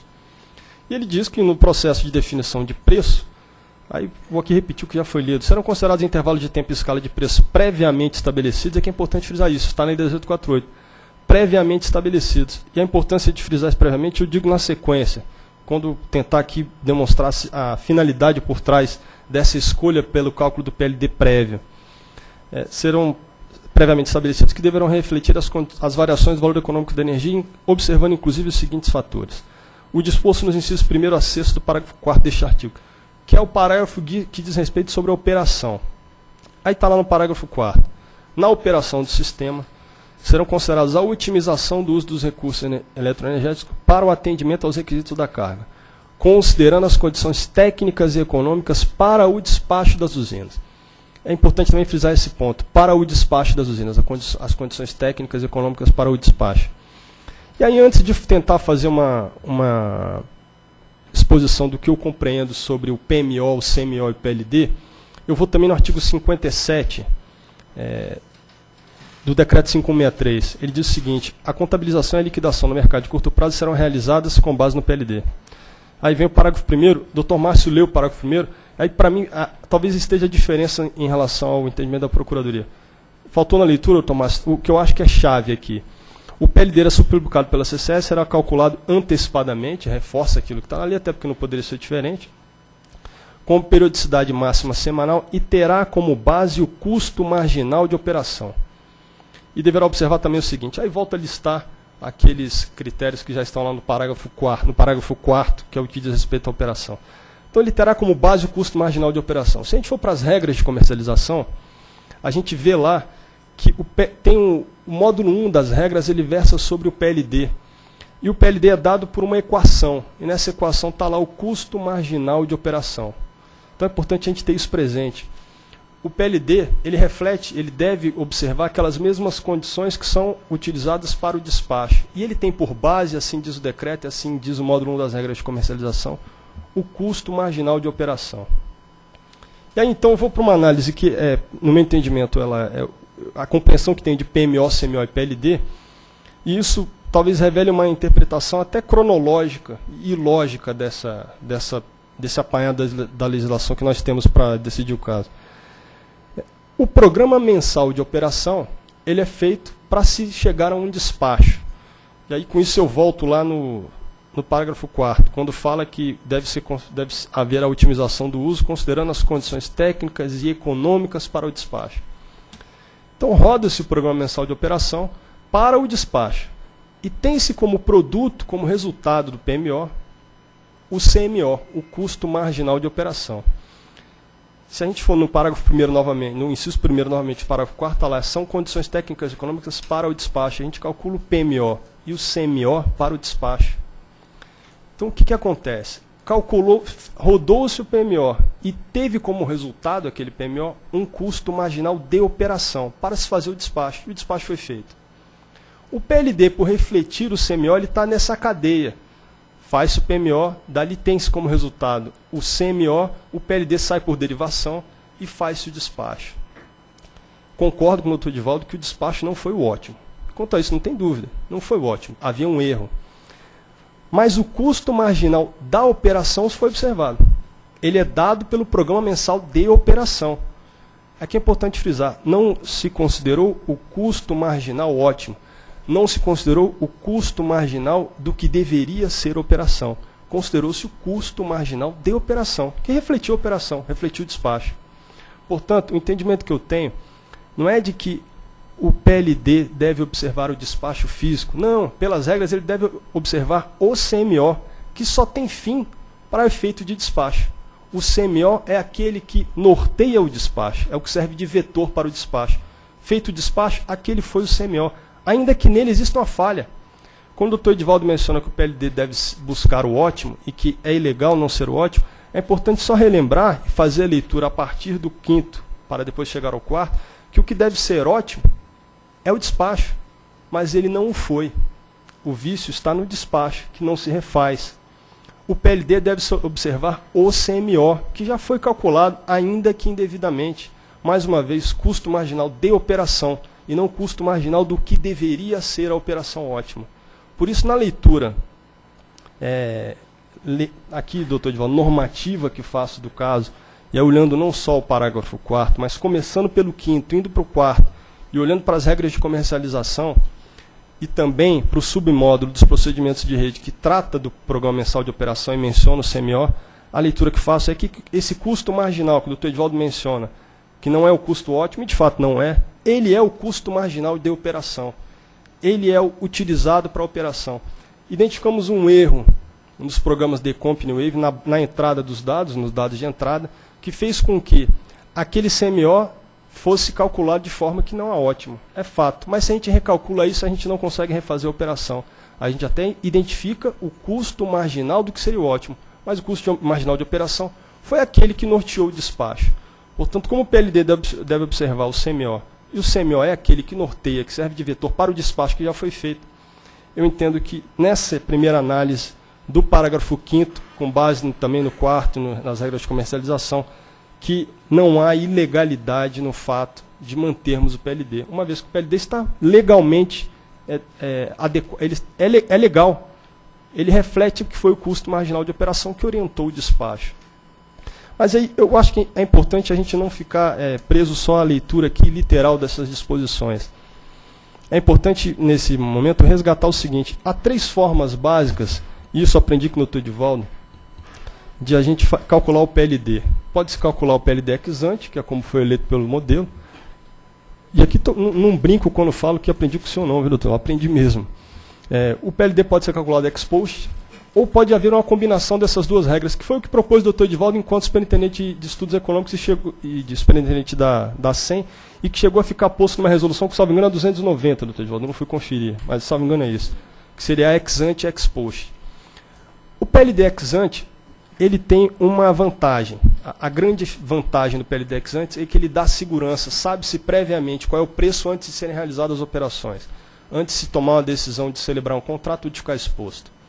Essa é a grande vantagem dele. A desvantagem dele, e aí mais uma vez a razão pela qual discorda a Procuradoria quando vincula com despacho físico, é, é, é uma nuance, é um detalhe, mas é relevante. A desvantagem dele é que ele não reflete necessariamente o despacho físico. O PLD expost é que refletiria exatamente qual é o despacho físico. Então, a vantagem do PLD expost, ele reflete exatamente o físico. A vantagem do PLD ex ante, ele dá segurança. Uma mesclagem dos dois seria uma forma de você eh, achar um ponto de equilíbrio. A resolução 290 já existia quando foi editada a Lei 1848. A Lei 1848 fez uma eleição expressa. Ela falou: o PLD deve ser definido previamente. Ou seja, ela priorizou a segurança. A Lei 1848 assim o fez. O decreto 563 vem na mesma linha não poderia ser diferente. Usou só um termo diferente. Em vez de falar previamente, falou antecipadamente. O que se verifica é que no novo modelo priorizou-se a segurança em relação ao cálculo do PLD de maneira que ele vai servir de norte para que sejam realizadas as operações. Ele vai dar segurança para que as, as operações sejam realizadas. E aí percebam, senhores diretores, o seguinte: se a gente faz um recálculo desse tipo, o que, que acontece? O despacho não vai refletir o físico, porque o físico já ocorreu. Portanto, a vantagem do PLD ex post, que seria observar o físico, a gente não tem, porque ele não vai refletir o físico, o físico já ocorreu. E a vantagem do PLDX antes a gente também não tem, porque se a vantagem dele é conferir segurança e a gente refaz depois das operações praticadas, a gente fica num cenário em que a vantagem do PLDX antes não se verifica, a vantagem do PLDX post também não. Oi? O que, que não tem? Porque o expost ele observa o físico. Como o físico aqui ocorreu, não foi o ótimo, a gente não. Isso, isso. Então a gente chega num cenário em que a gente não tem a vantagem do ex ante, a gente também não tem a vantagem do ex post. A gente chega num cenário que o modelo não cogitou, o modelo, o modelo consagra expressamente o, o PLD ex ante, que nós sabemos todos que prioriza a segurança em detrimento da observância do despacho físico. Isso está expresso na legislação, nós não precisaríamos ir a exposição de motivos da Lei 10848, que na verdade é a exposição de motivos da medida provisória 144, mas lá fala, entre os seus vários objetivos, e lá está dito que a CCE vai calcular o PLD, fala que pressupostos básicos do novo modelo, minimizar os custos de transação, evitar pressões tarifárias adicionais e criar ambiente propício à retomada de investimentos. Com isso, assegura-se a normalidade do processo e garante-se a desejada segurança jurídica. Então a finalidade foi essa, dar segurança, por isso se elegeu o ex-ante. Se a gente agora faz algo no sentido de refazer PLD, a gente foge disso. E a gente não chega a um cenário outro que seria aquele de observar o físico, porque o físico já foi feito. Então, senhor diretor, também sobre o aspecto finalístico, eleito pelo novo modelo, não é por mim, é pelo novo modelo. Eu acho que a gente não deve mexer no PLD. Aí tem uma questão também que é, na interpretação jurídica é importante observar que é a questão de valores, os bens jurídicos que você tutela. É, em, em, direito seria a, a vertente axiológica da interpretação. O valor está aqui casado com a finalidade, é a segurança. E aí tem algo que vai para além disso. Eu, ontem tentei, é, pensei até em elaborar um voto em separado, e aí fui fazer uma leitura de livros tradicionais de contratos e de negócios jurídicos. Condições de validade de contratos e negócios jurídicos são agente capaz, forma prescrita ou não defesa em lei. Preço não é condição de validade. Quando muitos falou, na, sobretudo na época dos planos econômicos, que o problema do Brasil é que não se conhecia o passado, por uma razão simples. Eram vários planos econômicos editados em medidas provisórias, em leis, e a validade deles frequentemente era questionada, e muitos deles foram, tiveram sua inconstitucionalidade reconhecida. E isso dava um, um, um, dava causa a um sem número de refazimento de operações. Mas percebam que eram planos econômicos editados em lei. Nunca houve insegurança em relação a preço, porque preço não é condição de validade. Preço é, é, decorre de consentimento. Uma vez fixado um preço entre duas partes, jamais, se, jamais existirá insegurança em relação ao preço que foi praticado. No setor elétrico, em razão do preço decorrer de um modelo computacional, é que a gente dá margem para esse tipo de coisa. Mas em lugar nenhum, em segmento nenhum da economia existe isso. Mas óbvio que, como é, decorrendo de, de programa computacional, a gente pode ter margem para que isso aconteça. Mas isso é algo que contraria o que a gente tem avançado não somente no setor elétrico, mas até como é, país, como o Brasil, como é, diminuição do risco país que nós vimos recentemente. É importante observar o seguinte: hoje não, isso não foi tratado, mas na reunião de audiência, de abertura de audiência pública, é, cogitou-se a possibilidade das, é, dos agentes fazerem contratos de RED para se proteger. E é importante a gente ter presente o seguinte, o RED é um contrato para se proteger de oscilação futura de preço. É feito sobretudo no setor de commodities, que não sabe qual o preço que aquela commodity vai ter no futuro, então faz um RED para se assegurar. Nós estaríamos inaugurando no setor elétrico um RED para se assegurar de um preço do passado. É algo que contraria o valor que se quer quando a gente tem um ambiente normativo e um ambiente jurídico para se chegar à retomada de investimentos. E vale lembrar, se celebram-se contratos de RED, é, é um custo de transação a mais. E voltando ali à lei que instituiu o novo modelo, um dos pressupostos do novo modelo é minimizar os custos de transação. É, celebrar contrato de RED para proteger de preços já praticados, seria inédito e viria em contramão a isso tudo. E vale lembrar, mais uma vez, isso está muito presente na nossa memória, está fresco na nossa memória. É, todo o risco é precificado. Se os agentes agora sabem que os PLDs podem oscilar, se isso passa a ser a regra, e aqui, doutor Edvaldo, não, não tem dúvida, talvez a prática da CCE tenha sido essa, mas a prática da CCE não nos condena, não nos vincula, é o contrário. A gente tem que dar um norte agora e para que, a partir de então, esse seja o norte. É, se a regra passa a ser PLD se recalcula, isso é um risco adicional, seja celebrando um contrato de rede, seja aumentando, é, precificando isso no, nos valores de venda de energia, a gente chega a pressões tarifárias adicionais, que é justamente o que não se quis.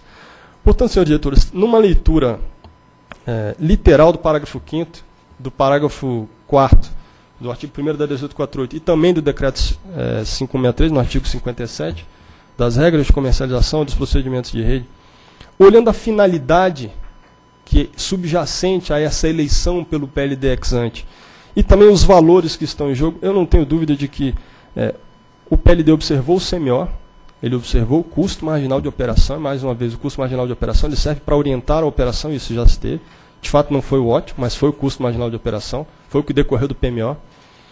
E, portanto, não há razões para alterá-lo. Pelo contrário, a interpretação que eu faço aqui, como o doutor Edvaldo bem observou, ela é, a interpretação que o doutor Edvaldo fez é menos um vezes a da Procuradoria.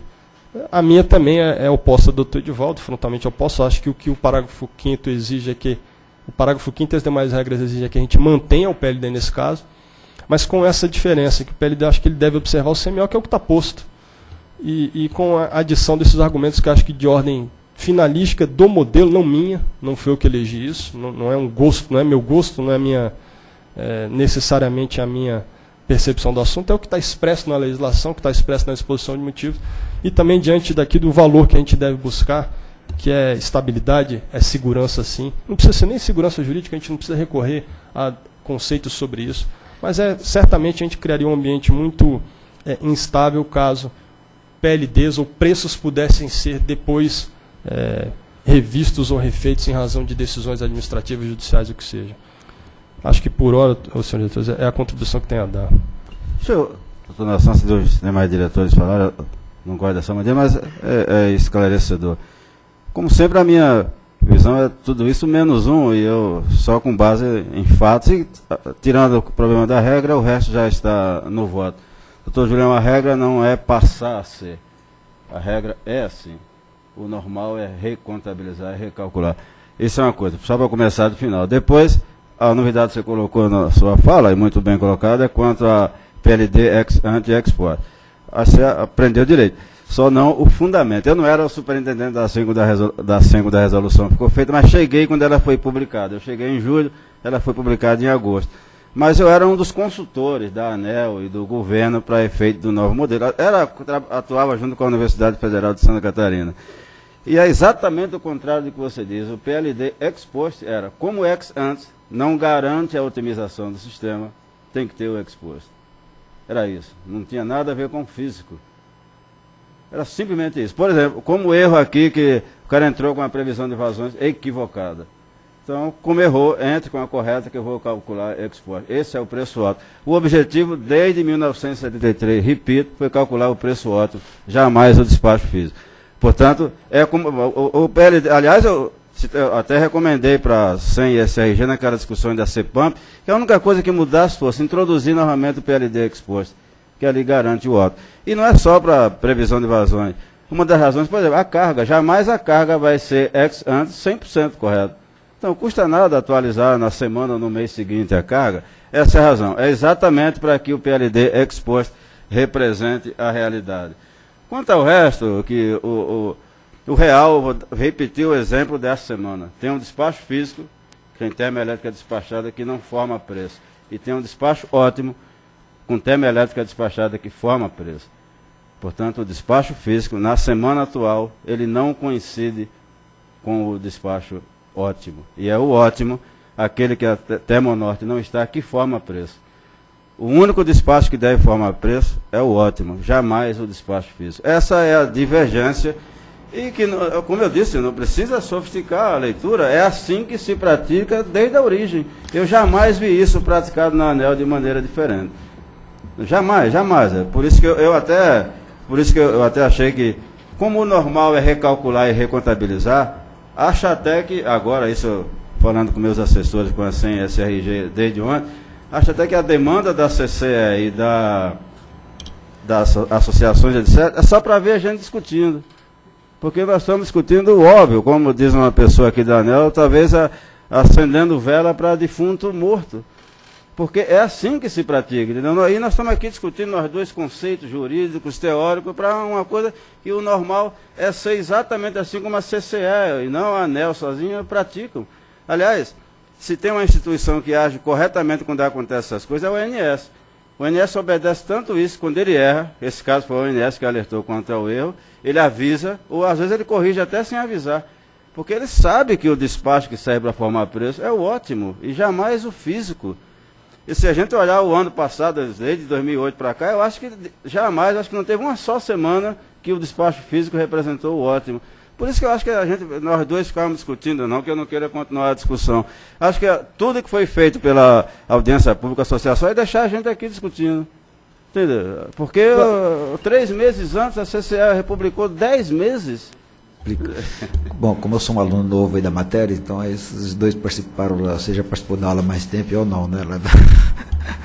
Então, assim, na, na, proposta que tinha antes lá do, do, do PLD, você calculava como é que era na resolução, você calculava o PLD ex post, mas o que, que você fazia? Não, a resolução, com, como o PLD era ex ante, era é, ex ante, você calculava ex ante, como é hoje, ex ante, mas dizia, olha, vai ter um ex post.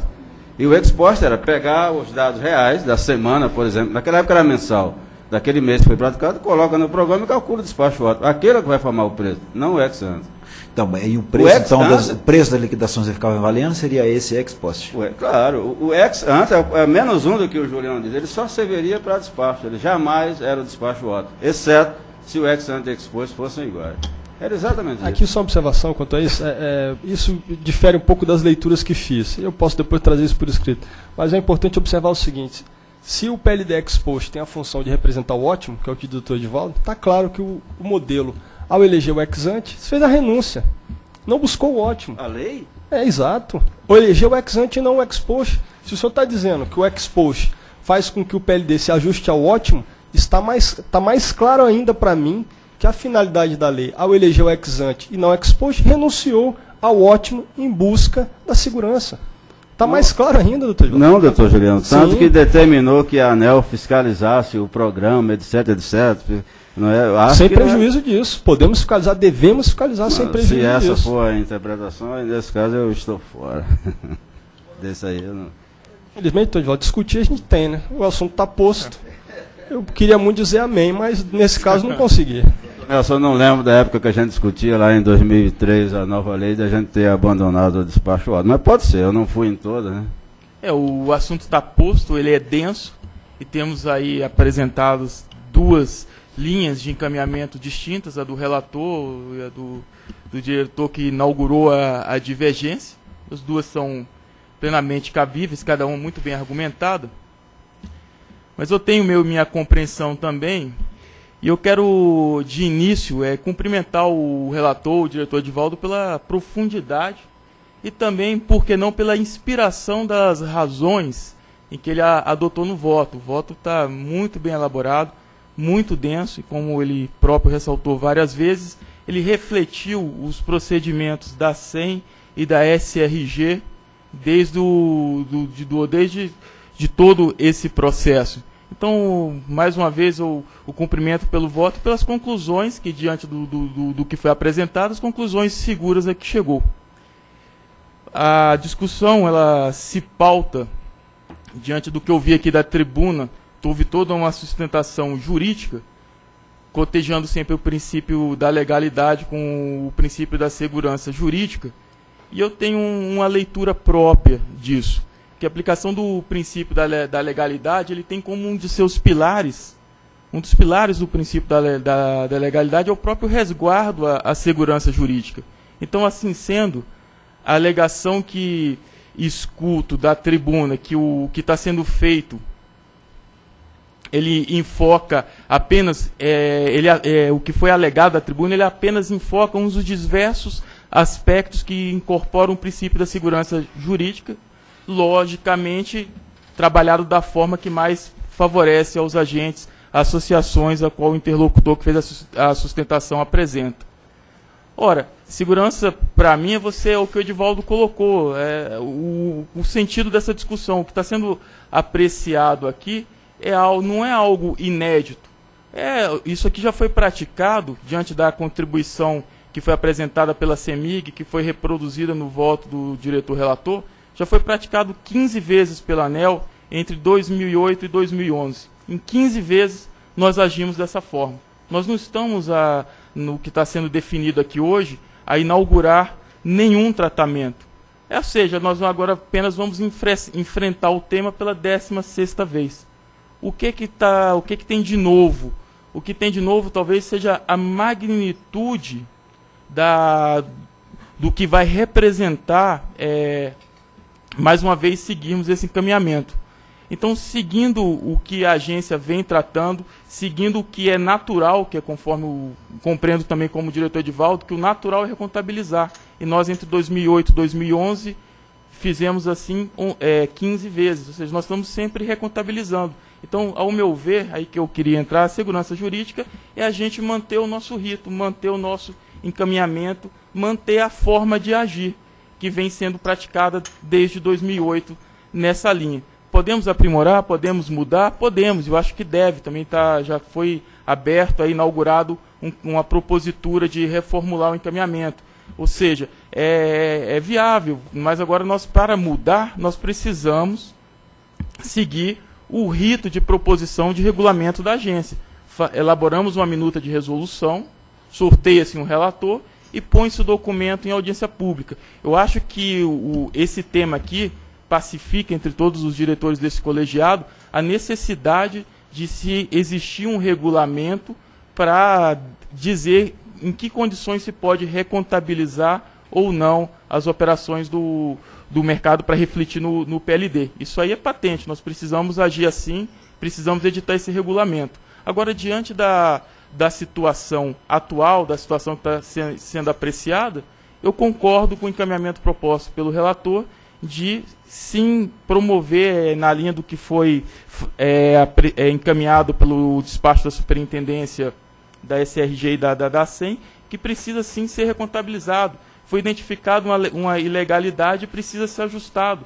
E, mais uma vez, eu acho é importante ter isso presente.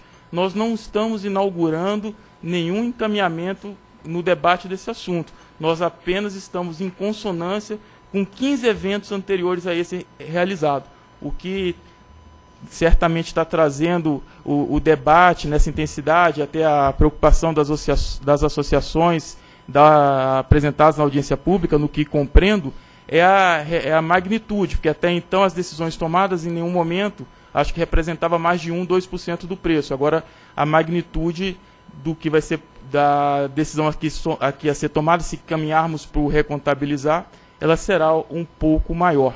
Então, nesse sentido, seguindo a linha do que já vemos fazendo, eu acho que precisamos sim é, recontabilizar.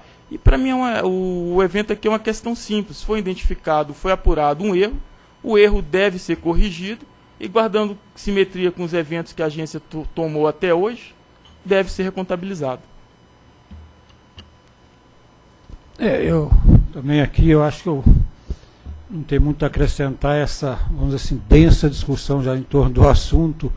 Mas talvez aqui começando pelo mais simples, que eu acho que há consenso, há convergência, é de que de fato os dados de entrada têm que ter maior transparência e maior é, nível, digamos assim, de validação de checagem, né? porque toda a origem dessa questão está aí.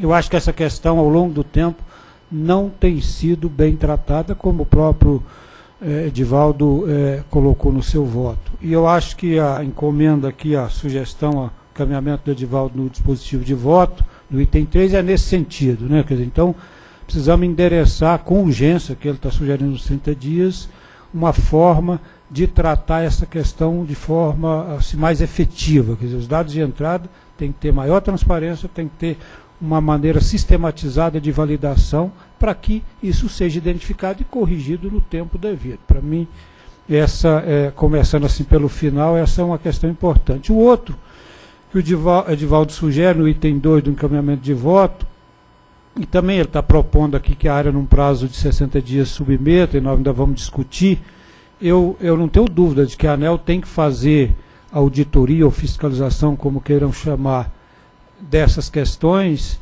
eu tenho alguma dúvida se devemos deslocar essa validação para a ANEL ou devemos colocar em regra e regulamento uma disciplina clara e alocar quem de direito, que é lá o ONS com o envolvimento dos agentes que deve ser envolvido na questão e certamente a ANEL deverá sempre, na situação atual e futura, ter a prerrogativa de fiscalizar, porque esse é um, esse é um papel nosso, e até como foi comentado pelo Dr. Cláudio Girardi, o próprio Edivaldo menciona, fiscalizar, apurar a responsabilidade se for o caso e até aplicar sanções se couber. Né? Mas então esse é o nosso papel, isso nós temos que fazer e se não fizemos bem até agora, sugere o doutor Edivaldo que talvez a gente tenha dedicado um tempo muito grande no como fazer e não conseguimos ainda é, colocar em prática uma maneira de fiscalizar mais efetiva.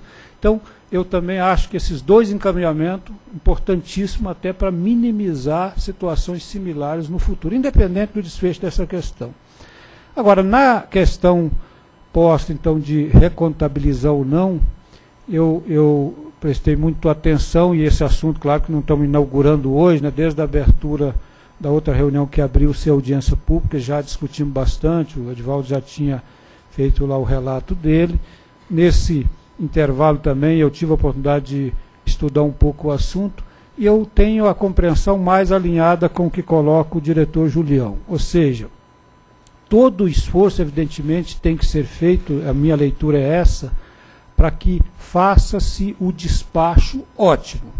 Mas feito o despacho físico, o preço é uma decorrência. Quer dizer, e o preço foi, no meu modo de ver, é, definido é, ex ante para exatamente permitir que as transações fossem negociadas tendo conhecimento daquele preço. Bem, se eu conseguisse refazer isso tudo, modificar pre, os preços e modificar as transações, mas aí eu acho que, o, no meu modo de ver, aqui estamos diante de uma situação do, do mal menor. Quer dizer, conviver com o erro, que é certamente todos nós temos incômodos com relação a isso, ou corrigir um erro e, e, aqui, desculpa um parênteses, eu, eu entendo que o doutor Edivaldo, não, não, me lembro, não percebi aqui se isso ficou claro no relato dele, mas evidentemente que aquele erro já foi reparado e todas as transações a partir daquele momento já estão sendo feitas com os dados corretos. Estamos falando só da recontabilização daquele, é, daquele período lá, né, doutor Edivaldo? É.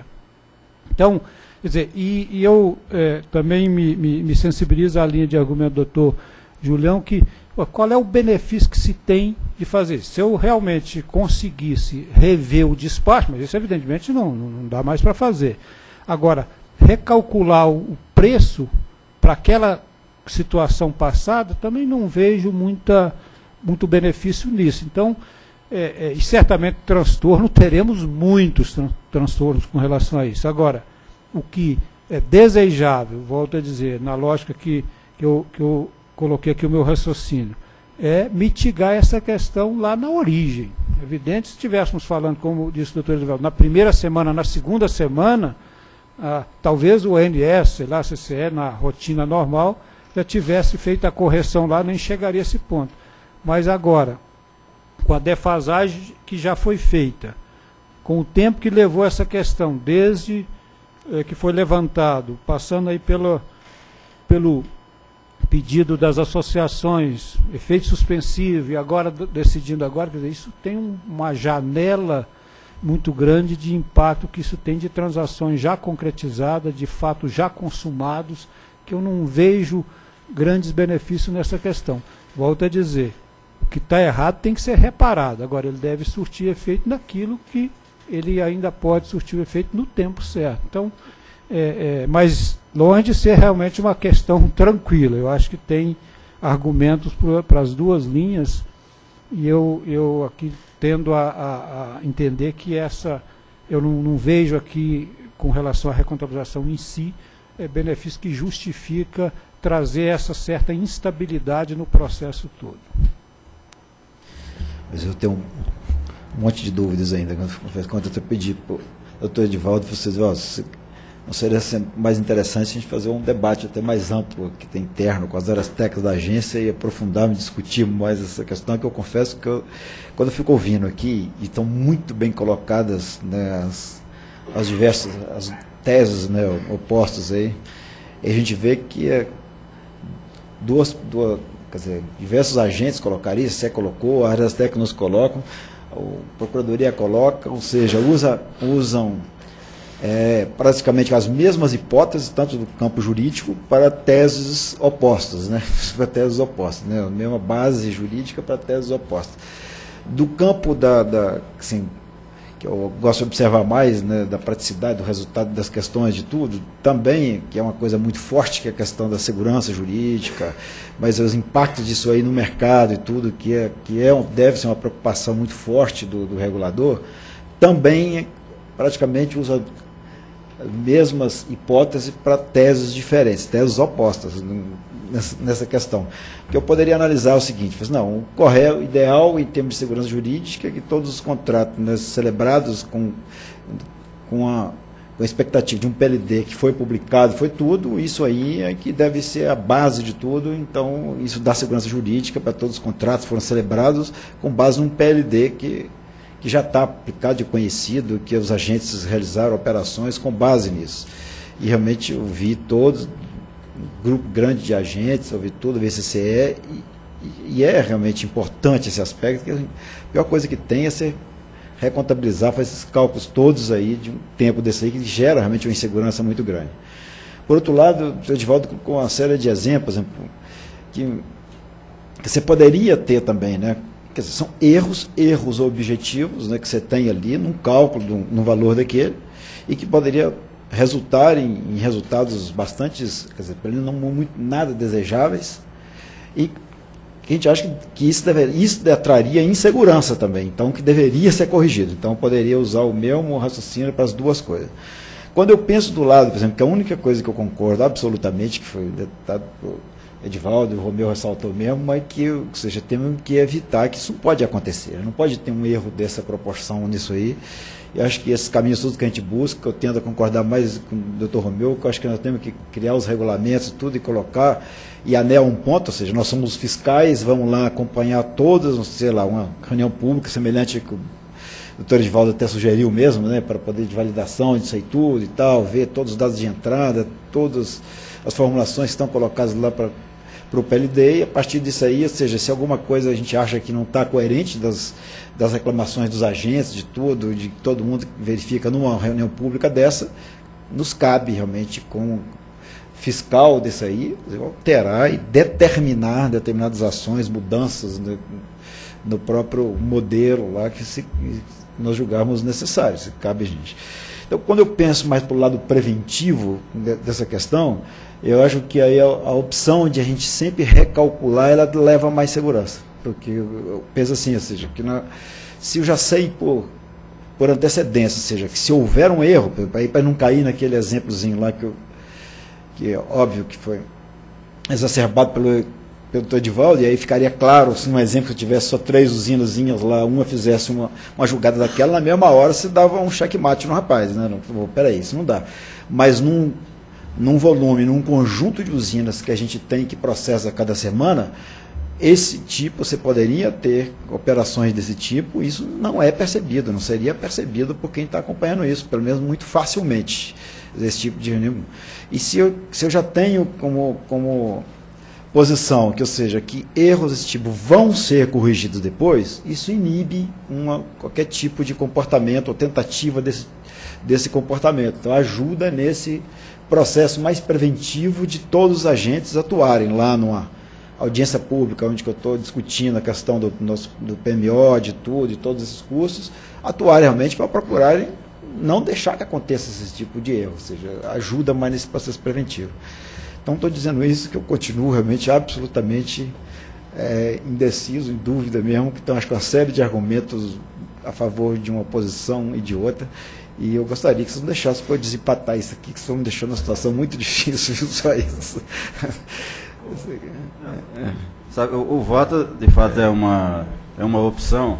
Eu, mesmo num, num, caso desse, como um voto mais denso, mais, com mais ênfase, eu jamais tento, tenho como obrigação convencer quem quer que seja a acompanhar o meu voto. É, procuro... é, mas eu tenho dúvida mesmo. É, não, eu sei, eu sei. Eu, não, eu, eu, eu, tanto que você mesmo ontem, pô, não, era melhor você tirar de pauta, discutirmos isso mais tempo. Eu não aguento mais esse processo. Mas veja bem. É. Você até, é, você até falou, e muito bem, que as associações, eu, o Julião, utilizamos, é, você usou a palavra hipótese para defender teses diferentes. É, a gente até usou o termo tudo multiplicado por menos um. Só que eu não defendi uma tese, um conceito, sem resultado. Eu disse, olha, é assim que se pratica. Entende? Ah, o conceito da, da, insegurança jurídica não resiste à contribuição da CEMIG. Porque se fosse insegurança refazer, o que diria do passado? Se é ilegalidade refazer, o passado foi todo ilegal, porque foram vários casos de recálculo de PLD. Então eu acho que, que o que se deve prestar atenção é só isso. Então, será que, é, como disse o Romeu, a a insegurança em relação às transações só acontece agora, não aconteceram, não acontece com os outros casos, entendeu? Isso é que me deixou. O que eu mais fiz, tirei 13 dias de férias, foi tentar arrumar uma forma de conduzir esse processo para não recontabilizar. Porque é péssimo, é ruim. Mas, puxa vida, tem tantos casos que isso já foi feito e agora eu vou, eu, com, com o conhecimento que eu tenho, e por exemplo, eu não, não, gosto muito de falar sobre isso, mas tem gente que participou da audiência pública que sabe disso. Eu antes de entrar na ANEL, eu como professor da Universidade Federal de Santa Catarina, eu era, era bolsista do CNPq. Eu tinha uma bolsa do CNPq e um dos um do meu projeto de pesquisa era verificar, verificar a simetria de informações em sistemas de cálculo de preço centralizado feito por computador no mundo inteiro. E tem um paper meu, está disponível na internet, em que eu lá dizia, e uma, isso em 2000, eu, eu, foi publicado em 2002, eu deixei de ser bolsista em 2000, provado em Congresso. Eu dizia quais eram as fragilidades, as vulnerabilidades do modelo para acontecer isso que aconteceu. E um está lá, previsão de vazões.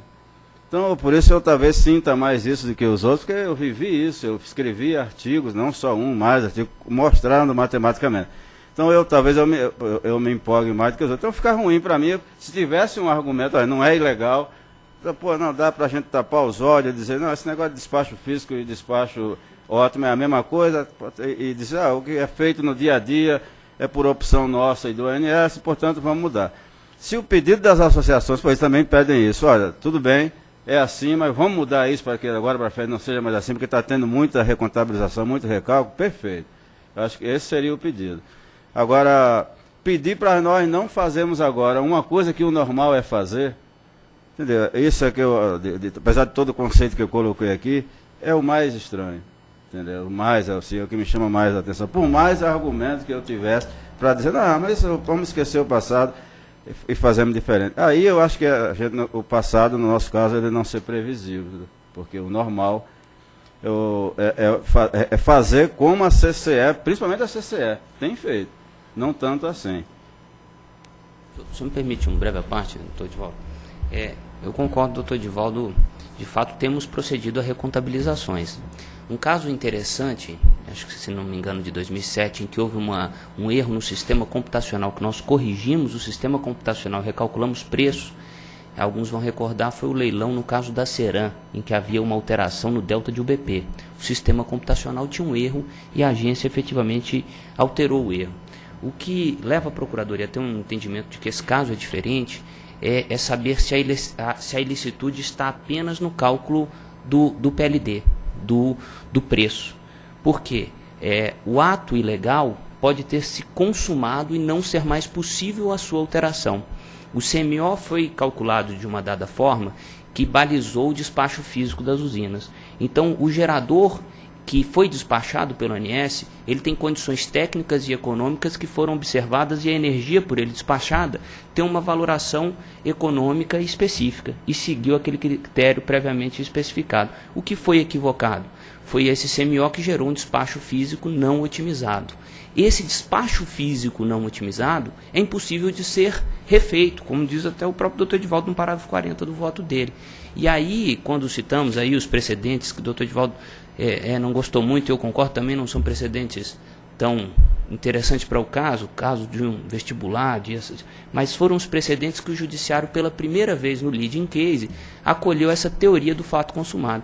Se uma liminar, e aí para usar o mesmo exemplo, se uma liminar fez com que um estudante no meio do nível médio, uma liminar ilegal, fizesse esse estudante ingressar na faculdade, demorou-se muito para julgar a causa, o estudante entrou na faculdade de forma ilícita terminou a faculdade, formou-se, graduou-se, está trabalhando, eu não consigo mais mudar aquele fato ilícito, porque foi um fato consumado. É, um, é, exclusivamente este o entendimento que na Procuradoria faz esse caso ser diferente.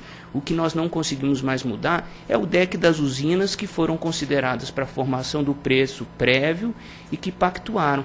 E veja que isso é, é, é tão paradoxal que o próprio ordenamento aceita que o ato ilícito produz efeitos. O negócio simulado é um negócio nulo, diz o Código Civil, mas os efeitos dele perante o terceiro de boa-fé são ressalvados. A cessão de crédito para um, um credor putativo que não existe é um negócio inválido, mas a segurança jurídica respalda o terceiro de boa-fé. Então, estes todos geradores, terceiros, compradores e vendedores que balizaram seus negócios previamente estabelecidos por um CMO que gerou um despacho não ótimo, é, é, teremos de apurar a ilicitude do despacho não ótimo. Mas aí é, é, o único diferencial que faz a conclusão da Procuradoria não ser a mesma, por exemplo, do caso da Serange e tantos outros que recontabilizamos. Doutor Márcio, deixa eu explicar porque, porque eu achei que os casos não cabem. Por exemplo, você deu um exemplo aí agora que o contrato já foi feito, as transações já foram realizadas. Se eu coloquei no voto anterior e não quis repetir, repetir. tem uma quarta parte, que são os consumidores, que não participam do PLD, estão aqui envolvidos quando a usina do despacho físico é despachada fora da ordem de mérito, uma térmica, o consumidor paga por via encargo do serviço térmico, vai para a tarifa. É a diferença entre o CVU dessa térmica e o PLD. Nesse caso, teve PLD que vai mudar para mais PLD que vai mudar para menos. Eu não, seria, não sei o que, é que a ANEL diria. Nesse caso, a diferença não é tão grande em desfavor do consumidor. Não sei o que, é que a ANEL diria se eu chegasse aqui e dissesse a, a, a diferença para o consumidor. Veja que eu fiz todo o voto sem falar em números é, por exemplo, de 100 milhões. E nós vamos dizer, ah, apesar de, de ser ilegal, mas com base nesse argumento lá do cara que passou no vestibular e se demorou muito a julgar, vamos manter assim. Não sei o que é que o TCU, a CGU ia dizer da gente. Mas eu não quis envolver com isso, porque eu não quis julgar a diferença, e sim conceito. E nesse caso a diferença não é tão grande em desfavor do consumidor. Por isso que eu acho que tem, tem que ter bastante cuidado no, nos casos. E aqui, de fato, eu fiz questão de discutir o conceito e dizer por que é assim e por que jamais foi feito de maneira diferente. E, e, mesmo esse argumento que é tão forte, eu não quis utilizar aqui. O outro é, por exemplo, tem empresas que nesse resultado com a recontabilização ganham, outras perdem. Aliás, a Semig, aliás, que mandou, foi a que mandou a contribuição em favor da ANEL, perde com a recontabilização. A Semig perde. Mas tem outras que ganham. Eu não sei o que, é que vai acontecer lá adiante se não, nenhuma auditoria interna alguém descobre que essa empresa ganharia e não lutou por ganhar, e a ANEL, sabendo do resultado, deixou para lá. Com base nesse argumento, não, demoramos tanto para julgar que deixa assim. Aí essa empresa, alguém ia mandar que entrasse na justiça para refazer, aí sim geraria insegurança jurídica, se chegasse mais na frente, alguém mandasse refazer tudo novamente. E a demora parte é por nossa culpa, porque o despacho da SEM foi três meses depois do ocorrido, isso porque eles ficaram discutindo entre eles o que fazer. O pedido, que eu achei que era justo, porque o tema é polêmico, é que levou a demora. Entende? Porque pra- tivemos que discutir, colocar em audiência pública, etc. Se a decisão fosse seguir o despacho da SEM lá em, em julho, despacho é de junho, essa nossa discussão quanto ao prazo não existiria. Entendeu? Então, daí eu também não sei até se. Pô, será que a, a ter levado esse troço mais adiante, pede isso, pede aquilo, não foi uma maneira da- de tornar o fato irreversível, que é a teoria utilizada pela Procuradoria em parte do seu parecer? Entendeu? É- Essas coisas, mas eu, como eu disse, o que eu tenho a dizer está tudo no voto. E não é simplesmente uma tese, apesar de baseada em conceito, ela é fundamentada em resultados e não só em notas ou em artigos, etc. Mais nada a acrescentar? Então, coloque a votação. Bom, eu voto com o relator. Doutor Nelson, como o senhor falou que não quer desempatar, vou pedir vista.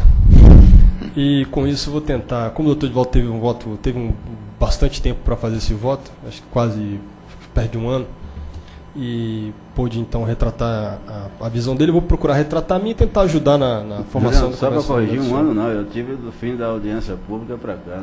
Né? Não, não, eu digo é, o, o conhecimento inicial da matéria. Não, é que não é uma crítica ao tempo de voto, não, Telo. Só mostrar o seguinte: a gente tem visões contrapostas aqui. no- é, como disse o doutor André, eu inaugurei a divergência.